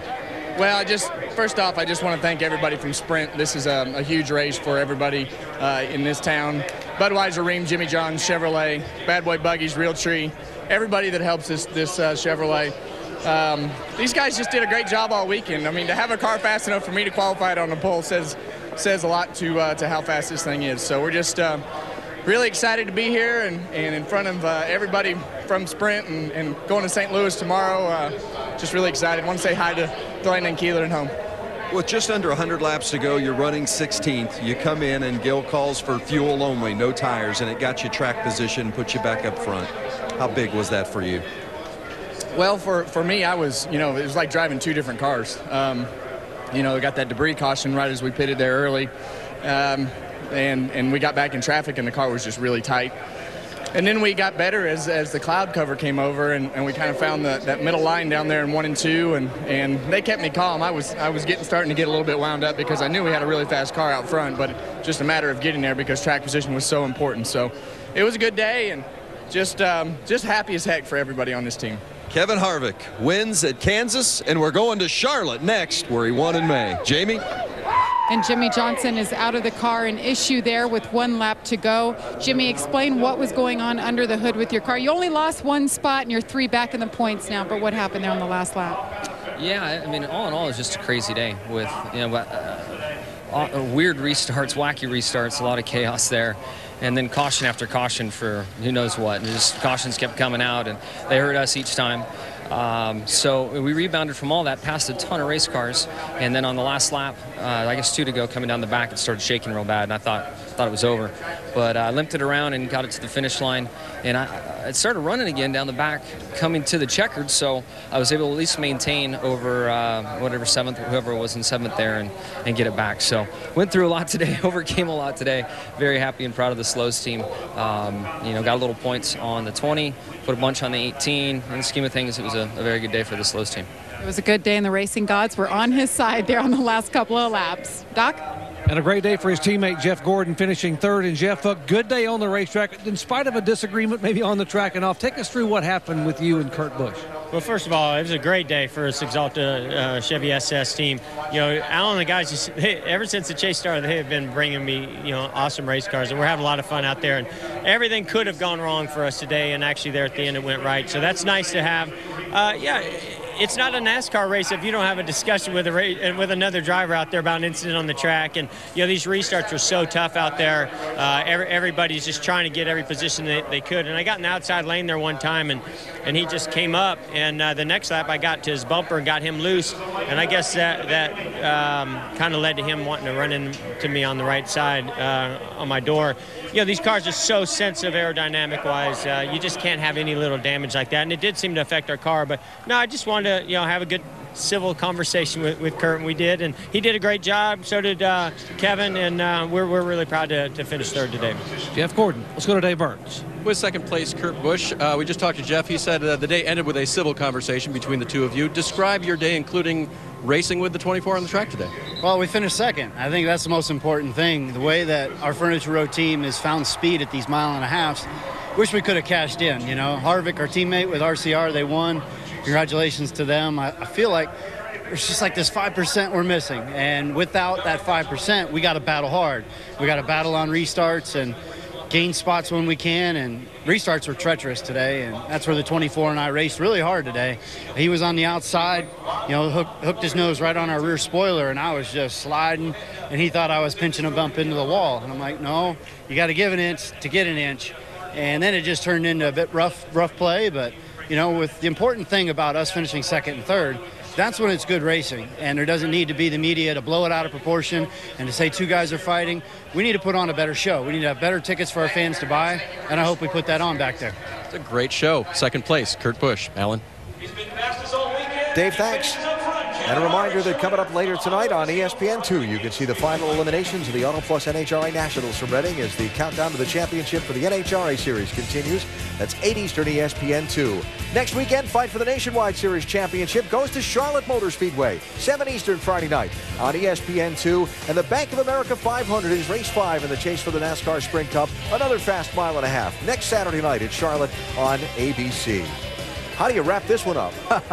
well, we talked about what was going to happen, and it was exciting throughout the day. But uh, you know, Kevin Harvick had the fastest car all weekend. He brought it to victory lane. Yeah, it was as crazy as we thought it was going to be. We saw all these spins and incidents in practice, and we thought it was going to carry over. It did, but Kevin Harvick and Gil Martin did a great job to bring it home in first. 15 cautions for 71 laps today. That's a new track record for caution flags and the most we've had during the course of this season. And the big story of the day, besides Kevin Harvick winning, Kyle Busch involved in a big crash, and Kyle finishes in 34th position and falls from third in the championship down to fifth position. Virtual draw for Kenseth and Johnson atop the points, and it's on to Charlotte next after Kevin Harvick wins on a Sunday in Kansas.